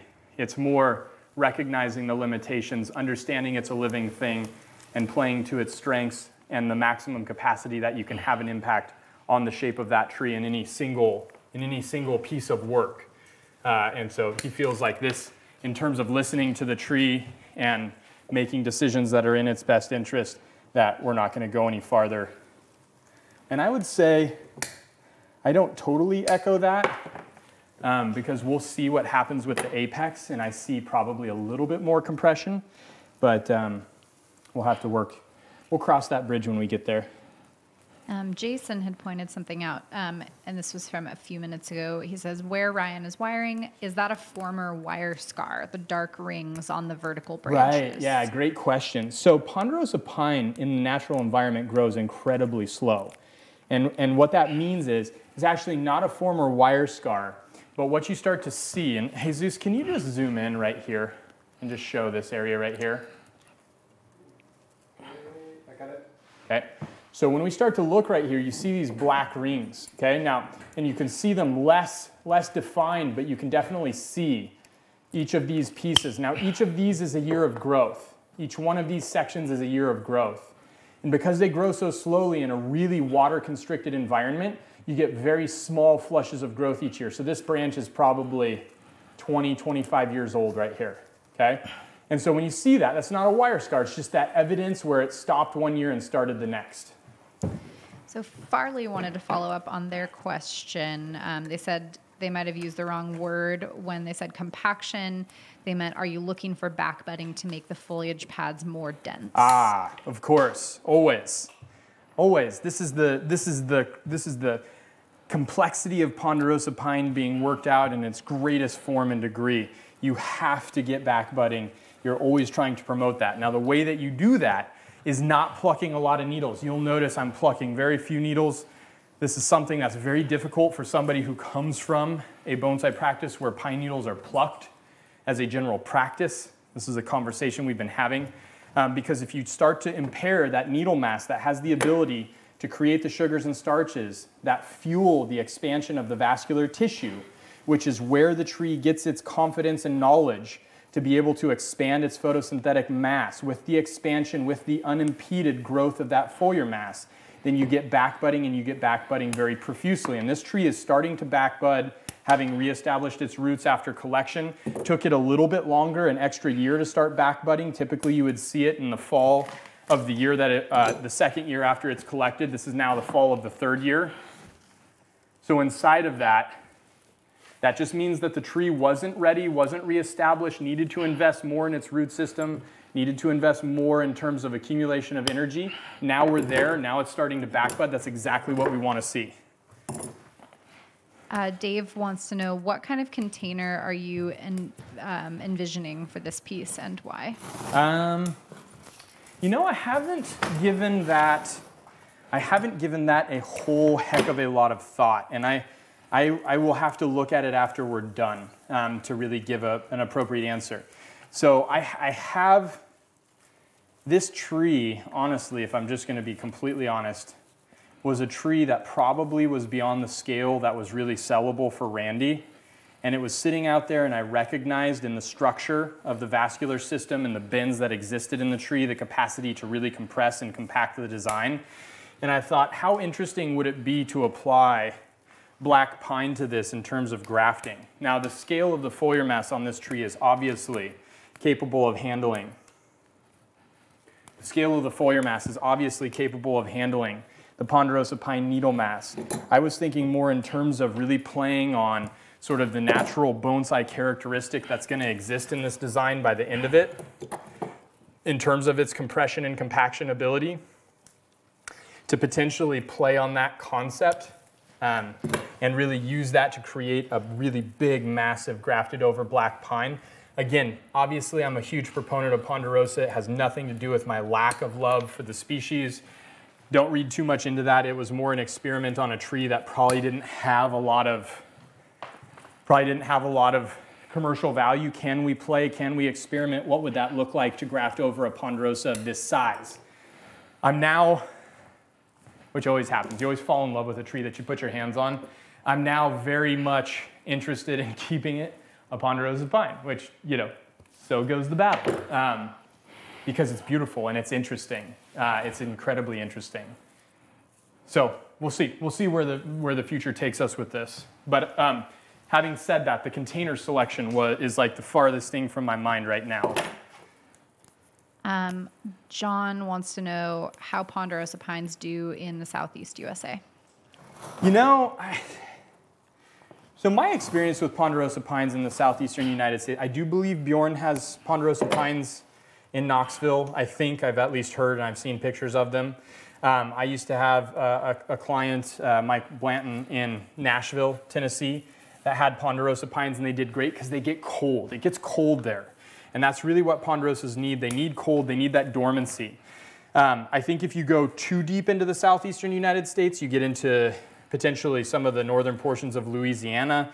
Um, I'm sure there's some colder portions of Alabama that might facilitate it and some that are too warm for it. So I think it depends on where you're at and what kind of nighttime temperatures you're getting, how long that prolonged cold is, how consistent it is um, as to whether or not they can, in fact, be successful in that environment. But, um, but there are places in the southeastern United States where Ponderosa absolutely thrive. They just thrive. They love it. Uh, Matt wants to know what is one thing that you and Mr. Fujikawa have learned from each other this week? One thing that you've each learned from the other. えっと未来にいる間に、はい、どっか一つだけの勉強ありましたか、うん一つだ一つ言えばいいってことそうそうそうそううんとねああればねあありますよ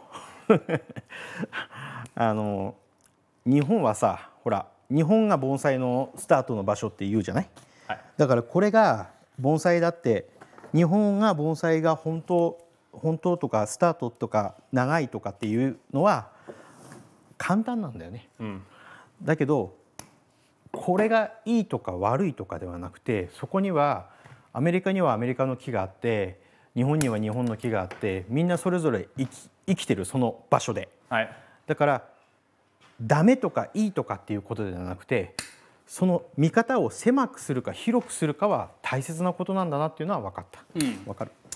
So he said, um, bonsai is an art form that was largely created in Japan, at least as what, what we know as, as bonsai, the term bonsai, the form bonsai. And he said, but just because bonsai originated in Japan doesn't mean that the Japanese method of pursuing bonsai is correct. He said, obviously, in the United States, we have different culture, we've got different species of trees, and inside of that, there's a different way to pursue bonsai.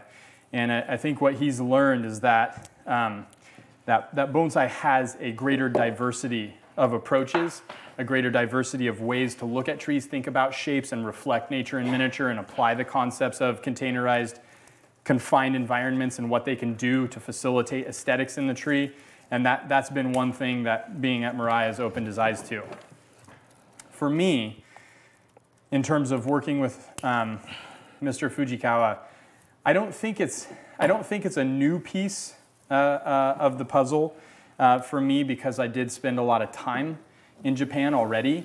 But I think he reinforced to me the degree to with which you can consider every single aspect of the horticulture, the application of knowledge, the pursuit of bonsai in all of its forms across deciduous, broadleafed evergreen, and conifer.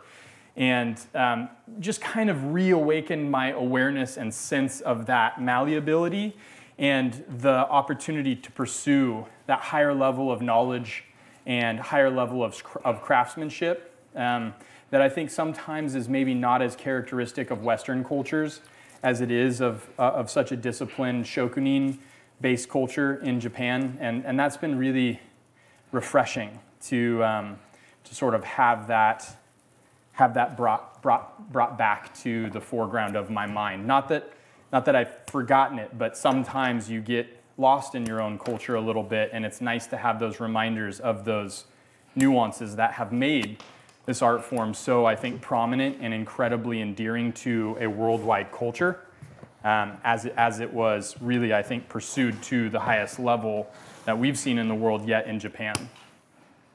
Uh, I think we talked about this a little bit, but just to make sure, Kevin wants to know will this tree stay in your personal collection or is it for sale? I mean, um, you know, it kind of looks like this.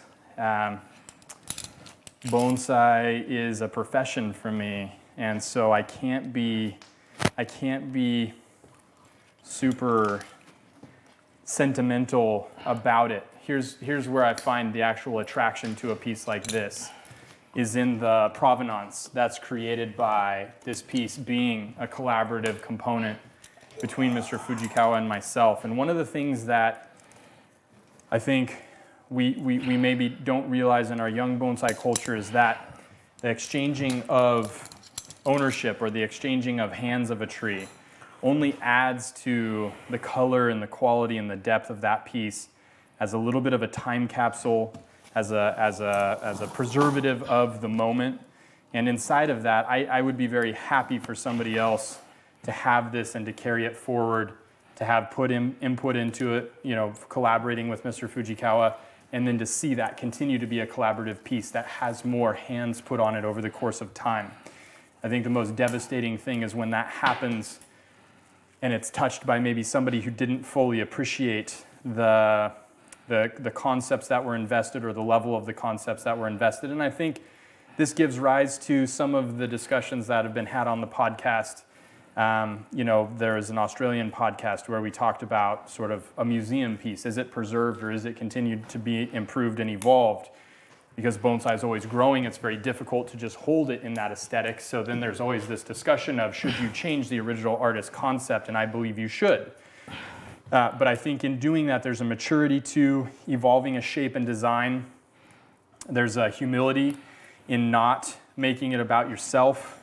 And I think we're just starting to exercise those muscles that have been a very significant and continual part of bonsai in Japan as just an aspect of the art form that has existed.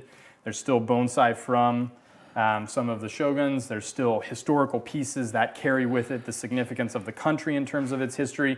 We're just learning about that, and that's a muscle we've got to further really exercise in order to be able to do bonsai to the best of our ability.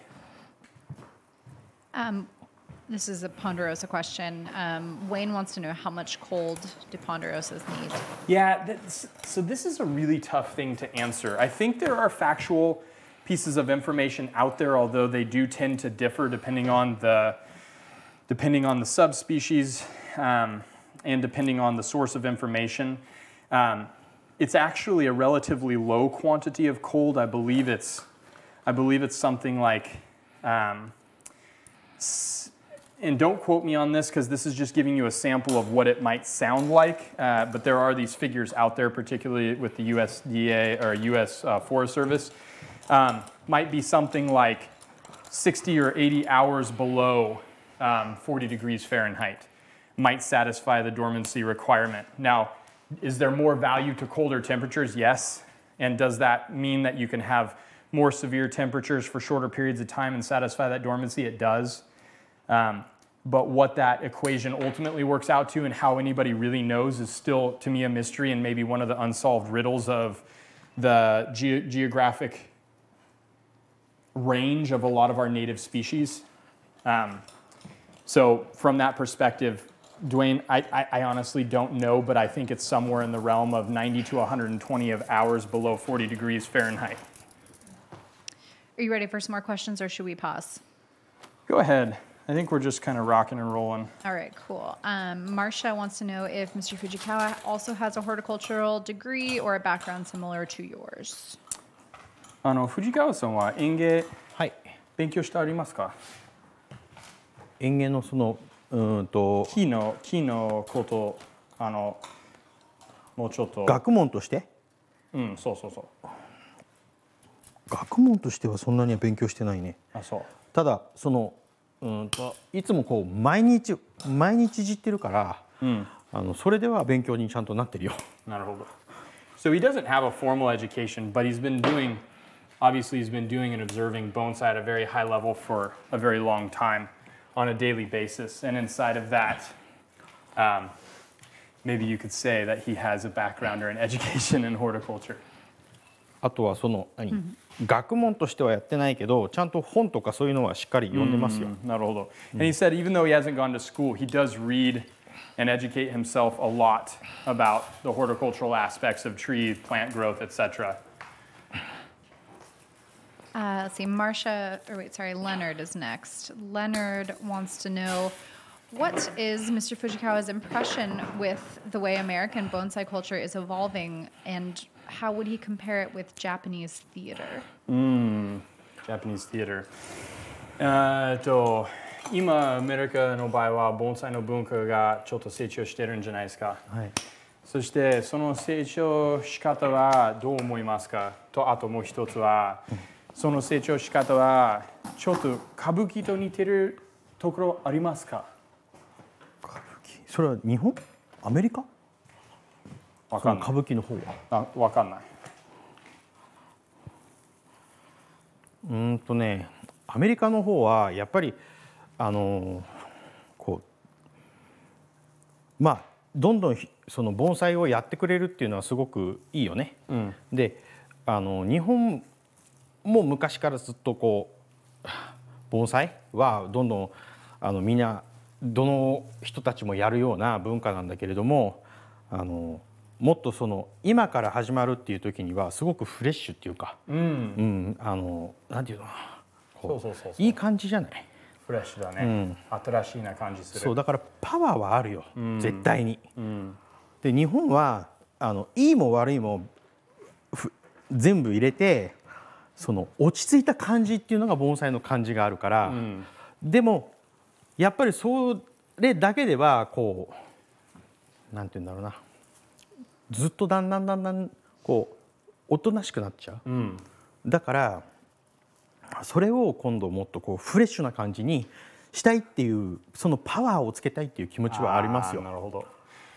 So he said, of course, bonsai has been practiced. He, he- he's very excited to see bonsai being practiced in the United States. And in, inside of the practice in the United States, there's a, a freshness to it. And that inside of that freshness, there's a power inside of that freshness in terms of the, the energy and the excitement and the inspiration. And when you think about Japanese bonsai, it had that at one point in time, but it's become very it's become very sort of set in and expected and, and sort of uh, defined, right? The practice of bonsai has become defined. And so inside of that, there's a calm, there's a calm, there's a maturity to that. There's uh an understanding of a higher level that occurs with that. But inside of that, you can also become complacent. And he thinks that there's maybe room for uh, a little bit more push or energy to be put back into Japanese bonsai to potentially tap into some ideas or manners and methods of pursuing the creation of bonsai in Japan that, that haven't been explored yet. So I misunderstood. Leonard was using the word theater as like a an expression about like the discipline of Japanese bonsai. So I think he really wanted a comparison of American bonsai culture versus Japanese bonsai culture. Oh, okay, that's good because kabuki. Uh, I, I know. I I'm- was like, it makes sense because that's a big deal, but that's yeah. confusing. Okay, so, so yeah. explain that to me again. So he means like the he said like the Japanese theater of bonsai, which is just Oh, okay, all right, okay. So we're speaking in like high, ba- basically very educated terms here. yes. Okay, and so he's asking me to compare more or less, or he, he's asking Mr. Fujikawa to compare more or less the. Comparing evolution of American bonsai culture with the evolution of Japanese bonsai. I got you, and I and I think he just, I think he just answered that, which is to say, like it's young, it's fresh, it's got a lot of youthful vigor and energy. There's a lot of probably ignorance that leads to a lot of bliss. Um, whereas Japanese bonsai has been pursued at a very high level for a long time, and inside that there's maturity, there's uh, an amount of information, their starting point is higher, there's an accepted and inset knowledge that exists, but also inside of that maturity there can be a complacency, and right now he feels there is a complacency that's lost some of that power of the inspiration of a little bit more youthful, juvenile, or at least a, a more energetic approach to the art form that he would like to see or at least be a part of bringing back to bonsai in Japan. Yeah, and I know he gave a great answer to this question last week too. So if you guys are interested in hearing more about Yeah, that, did, that is, is is in last week's stream as well. Um, so Jeff wants to know what are your and Fujikawa's opinions on if this tree could eventually be shown in the top level Japanese bonsai shows after it's finished, like not worrying about import bans. この木は、あの材料的にね、そのトップクラス例えば日本とかアメリカあーそうでしょうねトップクラスのまあ材料ですか、私が今まで見た中ではもしかしたらもっとアメリカにもその他の国にも もっといい材料材料があったりするかもしれないけれどもあのトップクラスだと思いますよ。 So he said, you know, maybe there's better trees in the United States or in Europe or, or somewhere else, but from, from his perspective, this tree is definitely sort of in that upper, upper class or echelon of trees in terms of its capacity on a, on a, on a big scale to be a very powerful, significant piece. Uh, he was drawn to this the very first day, which we, we, needed, we, we needed some repetition on Ponderosa before we bit this off. Mm-hmm. Uh, Dave wants to know Will Mr. Fujikawa's time at Mirai in the U.S. landscape have an impact on future scopes of work he will undertake when he goes back to Japan? What does that look like? あのアメリカにいる間と未来にいる間は、はいはい、あの藤川さんのこれからのやってるの仕事、ええ、インパクトし,しますかはいしますね。そうですか？そしてそどういうふうにインパクトしますか？あと未来の形は 盆栽未来の形ね、盆栽未来の形っていうのは私たちが日本でやってきたその、うん、一つ一つがみんなそれぞれ生きているっていう形ではなくてみんなが盆栽を全員でこうクリエイティブにしていこうっていう形に私は感じたわけ。うん。だからその、うん、形は自分たちもやってみたいし多分国とか、うん、そういうことではなくてもっと広い世界の盆栽になっていかないとあのもっとそういう可能性がある感じがしたね。うん。なるほど。ありがとうございます。あの あの uh, so while he's been at, at Mirai, he said particularly the culture of Mirai being a, a culture in Japan, bonsai is a very solitary pursuit. Uh, of, of course, there's professional organizations and there's a more defined structure and culture to bonsai in Japan, but um, but for the most part, it is very it is a very independent endeavor, uh, and it's very I think isolated to within the Japanese culture in terms of the way that it's pursued. He said one thing that he's seen here is how everybody collaborates and shares in that passion and feeds each other. You guys, yeah, huh? You guys, you know who you are.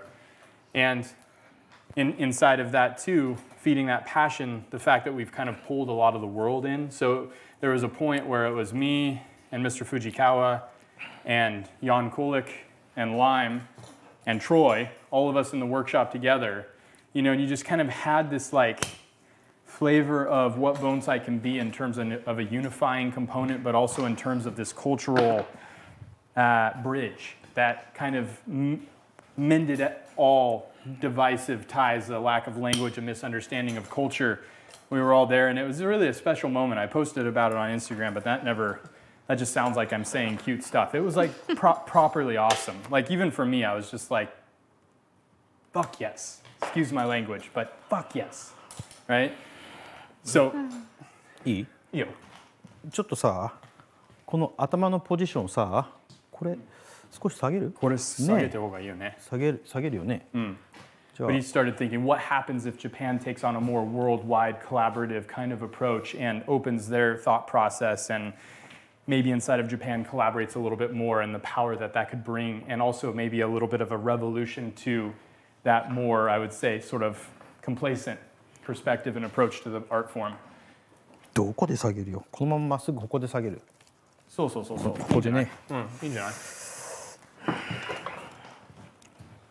？16 ?16 でこれ？十分じゃない ?14。じゃあ14これでで、これでじゃないですか。じゃあ長さどこまで？ここまで？そこじゃなくてここれが硬いあ、そうかそうか。はい。Ready for some more questions? これか Yeah. Uh, ben wants to know Is there another genre of plants that Mr. Fujikawa enjoys, like orchids, cacti, succulents, etc.? えっと、盆栽じゃなくて他の植物面白いと思ってるの植物ありますか、例えば砂漠に住んでるのやつかえっとトロピカルのやつとか別にぼ盆栽,、盆栽の関係じゃなくてただ、うわ面白いなと思うなそれ物はありますよ。やっぱりその形が特別なものがやっぱりその場所でしか生きない形のものっていうのはすごく特別ですから、面白いよね。でも盆栽にあこれなるかなとか ちょっと考えちゃうけどね。He said there are particularly pieces where it's like it, it can only live in this environment, this very special environment. has, has a real power and interest to him, but he said his, his natural go-to is always to wonder, could, could you make a bonsai with it? Which, uh, you know, it's, it's interesting to see.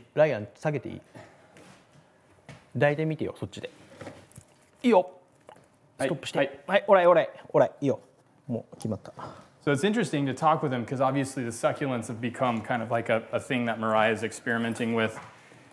There is a unity there is like a, a consistency to the thought process of being exposed to this wonderful world of plants in this manner that we are really caretakers and stewards of these pieces. And uh, to, to know that that spans other bonsai cultures to me is a, is a very beautiful aspect of how bonsai can open all of our awareness to plants and the power of our relationship to those plants. Matt would like to know what is Mr. Fujikawa's favorite tree that he has seen at Mirai? 盆栽未来に一番大好きな木ありますか何か一本のこれはいいありますよでもね心拍はやっぱり日本にもあるけどそのワイルドさがいいけど、やっぱりこのポンデロッサとかのあの形は結構違うんだよね日本と、だからそういう木がやっぱりねあいいなって思っちゃうね、うんうんなるほど心拍はもうすごくいいよええワイルドでね、ええ So he said he loves the wild flavor and feel of our junipers. But he said there's something about the ponderosas and the lodge poles and the limber pines, just the, the wildness, the ruggedness of our pines that doesn't exist. Whereas there's rugged junipers in Japan, maybe a little bit different or maybe not as many, or, you know, there's nuances to that. But that wild pine vibe has really got, it's really kind of where he's, where he's jiving the most. Uh, Rafi wants to know if there's a chance that you'll need to bend down that branch sticking up uh, to connect Uh, top and this- bottom. this that one, or yes. this?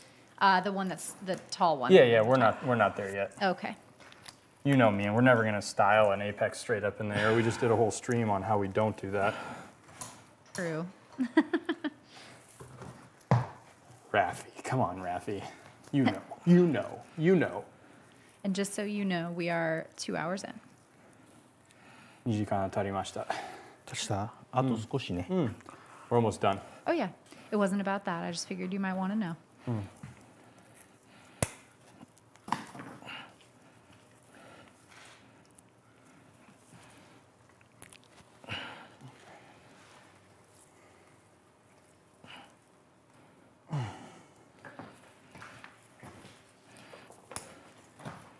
Look?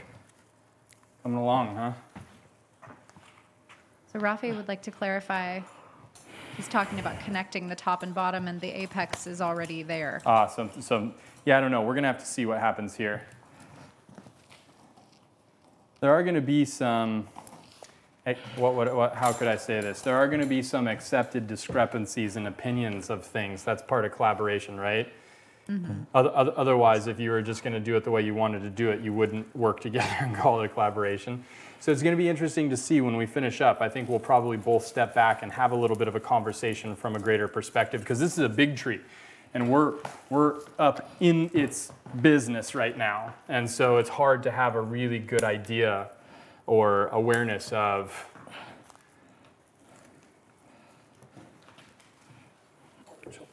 こっちもらおうかそっち使ういやじゃなくて肩だけ、はいはいサンキューそしてこれはこっちに行くんじゃないそうだね「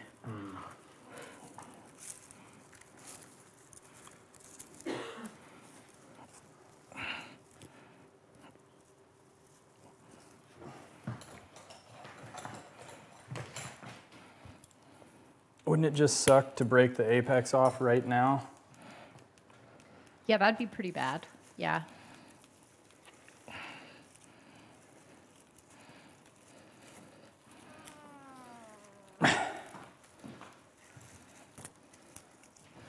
これね、こういうふうに向いていいですか？いいよ。少し。やるよ。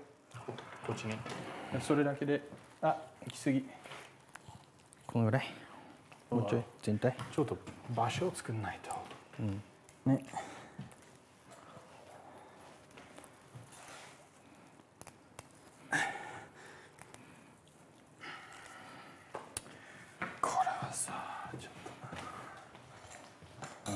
となうんいっぱいこっちについてあるんで「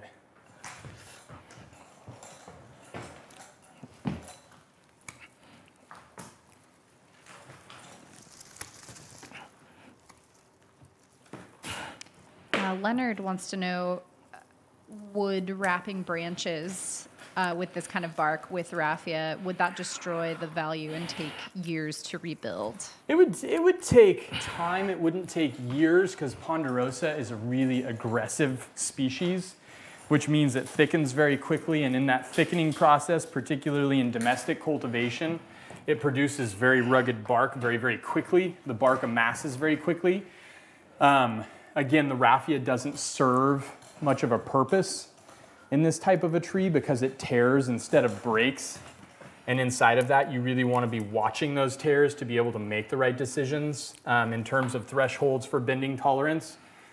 Uh, and I think that's where that's where you're definitely not seeing us apply raffia, like ever. You'll never see me apply raffia on a ponderosa. I don't know that I've ever done that in any stream or even on any tree in the garden. Um, maybe maybe the first year I was back, I put raffia on a ponderosa, and then I was like, why why am I why am I doing that? It definitely mars the bark, but more than anything, I can't see. And you see, you see this in Europe a lot. They put raffia on all of their Scots pine, their, their sylvestris, and that's a tree that stretches. It can break. It's a little bit more fragile than a ponderosa, but not much.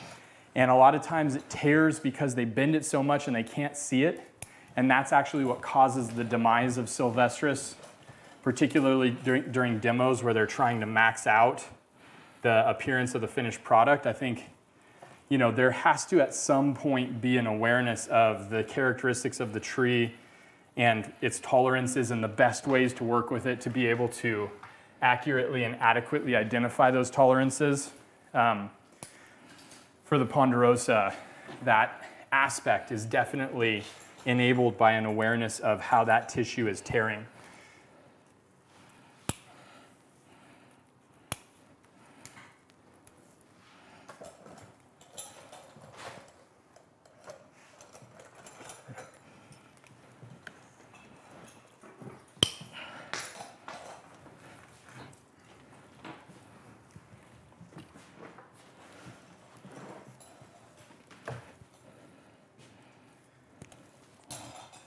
線が綺麗かどうかっていう問題。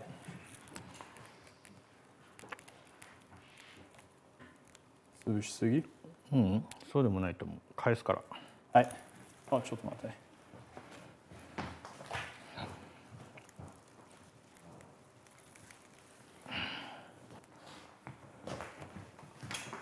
じゃあこっちに行く、そっち逃がした方がいいね、こっちに。行きますよ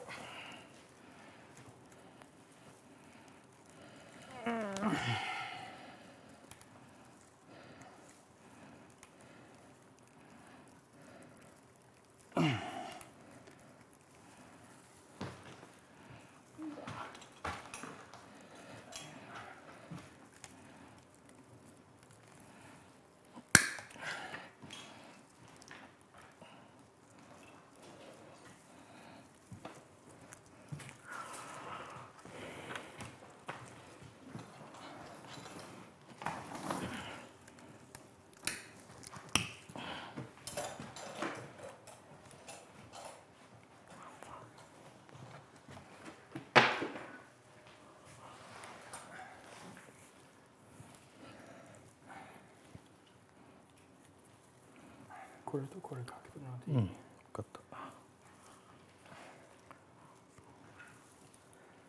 この2つ？上の2つね。そう。なんかこうしパッとしてと一番綺麗になるかもしれない頭の場合は、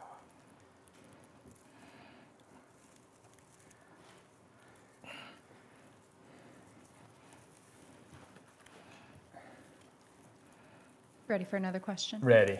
Uh, Scott wants to know Do either of you feel that you have to hold back or put more thought into some of the design ideas while working together, or is this just second nature to you from studying under the same master?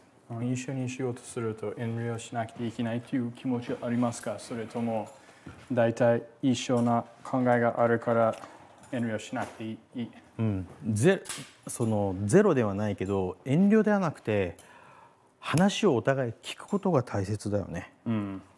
So he said it's not necessarily a, uh, a matter of holding back or showing any sort of restraint. It's more about listening to each other and communicating as we're doing it, having that, that avenue of communication open so that we're making decisions that we both are, are maybe aware of. で多分こうお互いの意見もあの違うこともあると思うけど そんなに違うってこともないね。 If we made it, if we made this tree independently, there's a strong chance there would be some differences, but probably, me- and and this is particularly for this piece that has a, I, I would say, a more traditional slant on the design. Our, our, d- our ideas and the design would probably be relatively similar, or at least close, in terms of its relationship.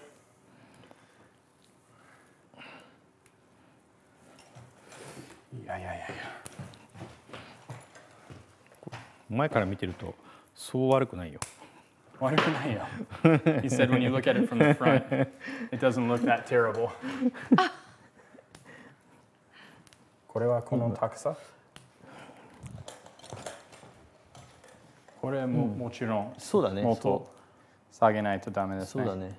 このぐらい？もうちょっといやーこれはもう引っ張れないの。いやひ引っ張るわけないただこうこうなってるから気をつけないと。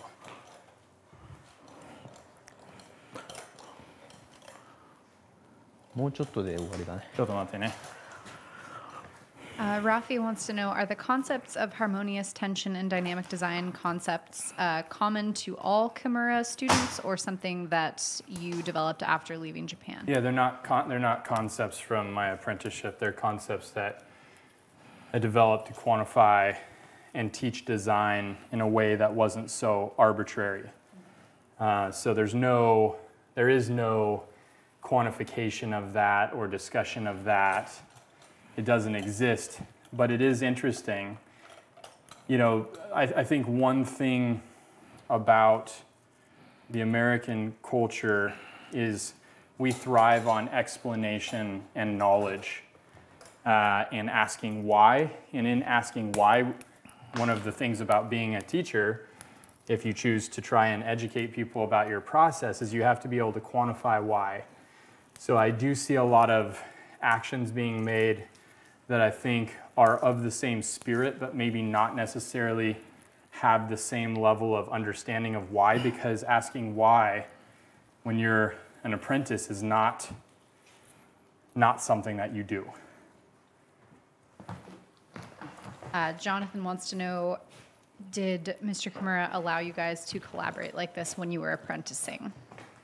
Probably wasn't No. time, but yeah. ライアンそこにいて。これがもうちょっとこうだといいでしょ。そしてもうちょっとこっちに潰してもらっていいこれを。これ。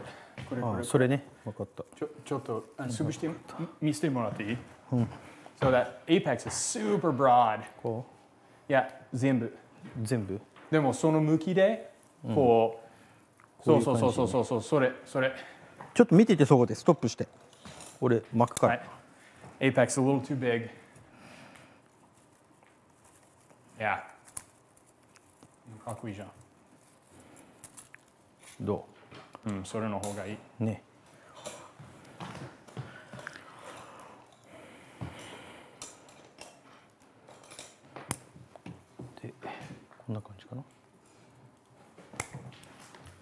Um, Grayson said that you mentioned you were originally going to graft this tree. In general, would you style this first and then graft if that was the plan? Yes. So this is one of the interesting discoveries that we've made about grafting in particular is if you lay it out, you take all of that auxin that suppresses lateral bud growth. And when you take that out,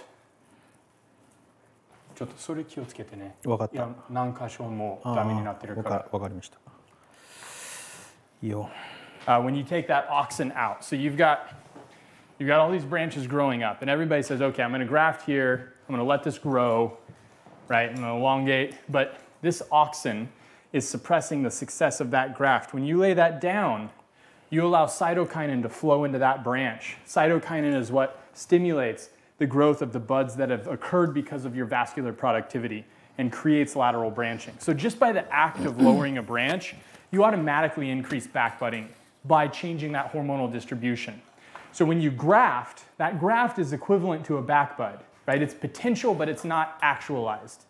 And if you lower that and then you come back in and graft, you've got a hormonal content that will increase the success of grafting dramatically. We've seen this across ponderosas at Mirai.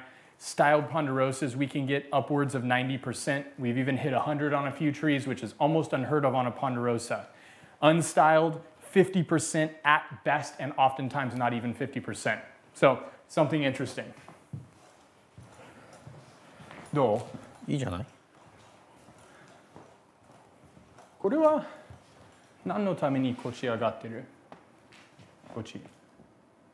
それねいらないと思ったの こっちに？いやそこまでいかないんだよこれが I'm asking him why he had those up, and he's saying he thinks that they're not necessary. これこういうふうにしてさ一つだけやるとさかっこ悪いんだよなんかだからいいじゃん。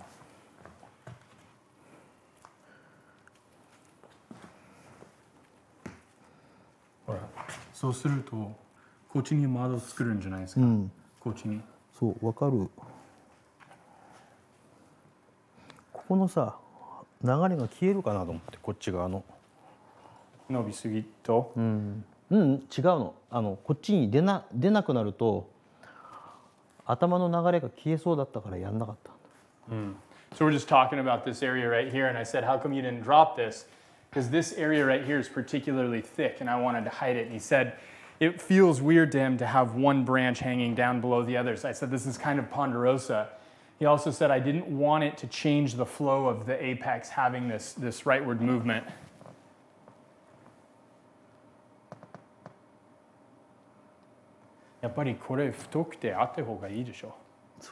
Eh. Hmm. This area is super thick. I think it's valuable. I don't know. These are all the things we can come back and kind of work with later on. どいいじゃない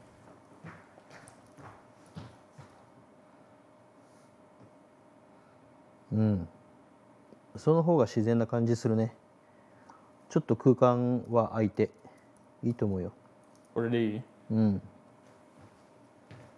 just opening up that little bit of space. He felt like that really softened that area.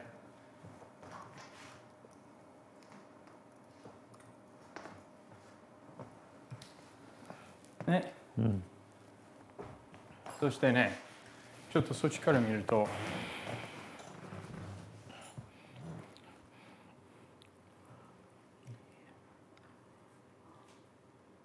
どそんなに変わんないかなもう一回やって後ろからやできるう So I'm trying to compress this as he's looking at it.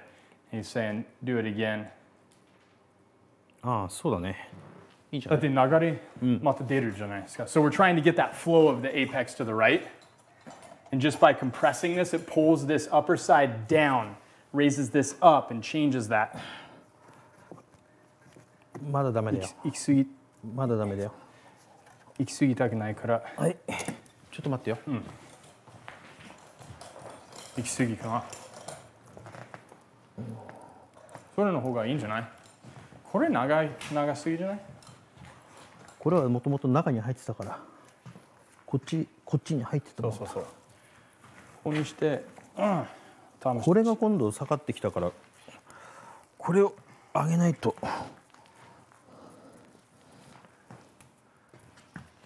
Matt's wondering if we could put something white behind that lower section so we can see the branch structure better. David says lowering that branch helps to bring the upper and lower foliage masses together.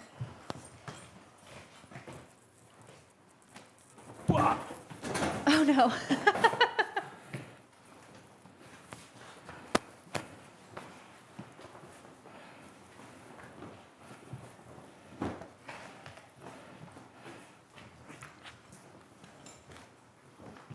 I don't know how valuable this is going to be because there's holes cut in it. Thanks, apical formation. Thanks, Eve thanks and Chucho. My, thanks for ruining my bed sheets. Yeah, on a guy. ダメだ、これは。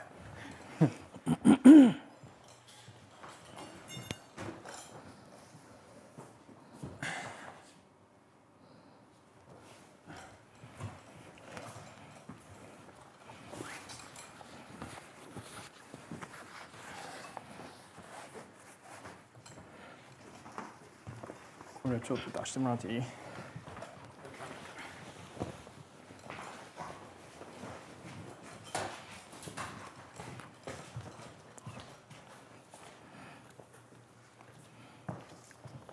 Good as you're gonna get right there.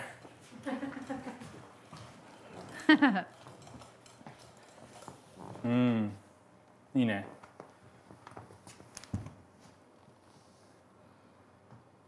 ね最高じゃない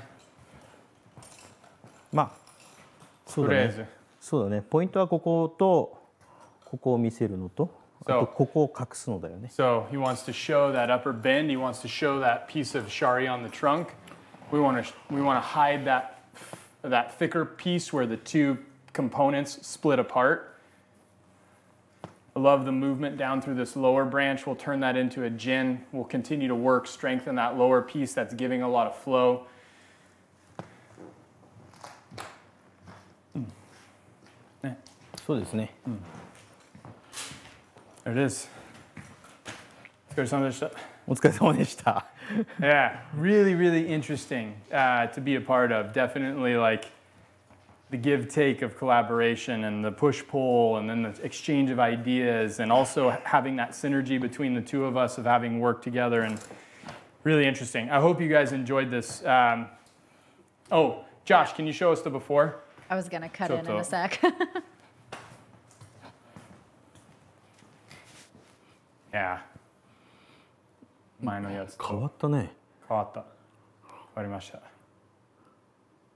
Yeah changed a lot. Changed sure a lot. did. this tree had the capacity to be something very special.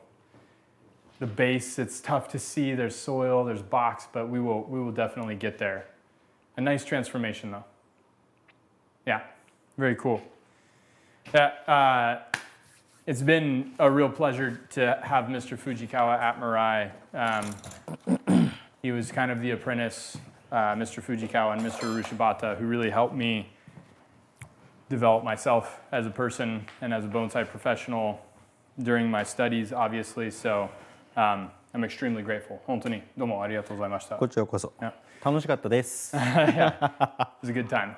Uh, anyways, thank you guys. Thanks for tuning in. Sorry to go over. Hope you enjoyed it. A lot of stuff to digest here. Watch this one again. It'll be up Thursday. Um, support the uh, PBM book if you guys can and have the, the desire to. Uh, huge project that we can lend our strength to. Um, I think we all give Mr. Fujikawa a round of applause for everything that he's done for us. And uh, we wish him safe travels on his way home. Thank you guys for the support. We love you very much. Couldn't do it without you. We'll see you on Thursday. If not, we got something special for you next week. Woo! All right. Have a great night, guys. Mwah!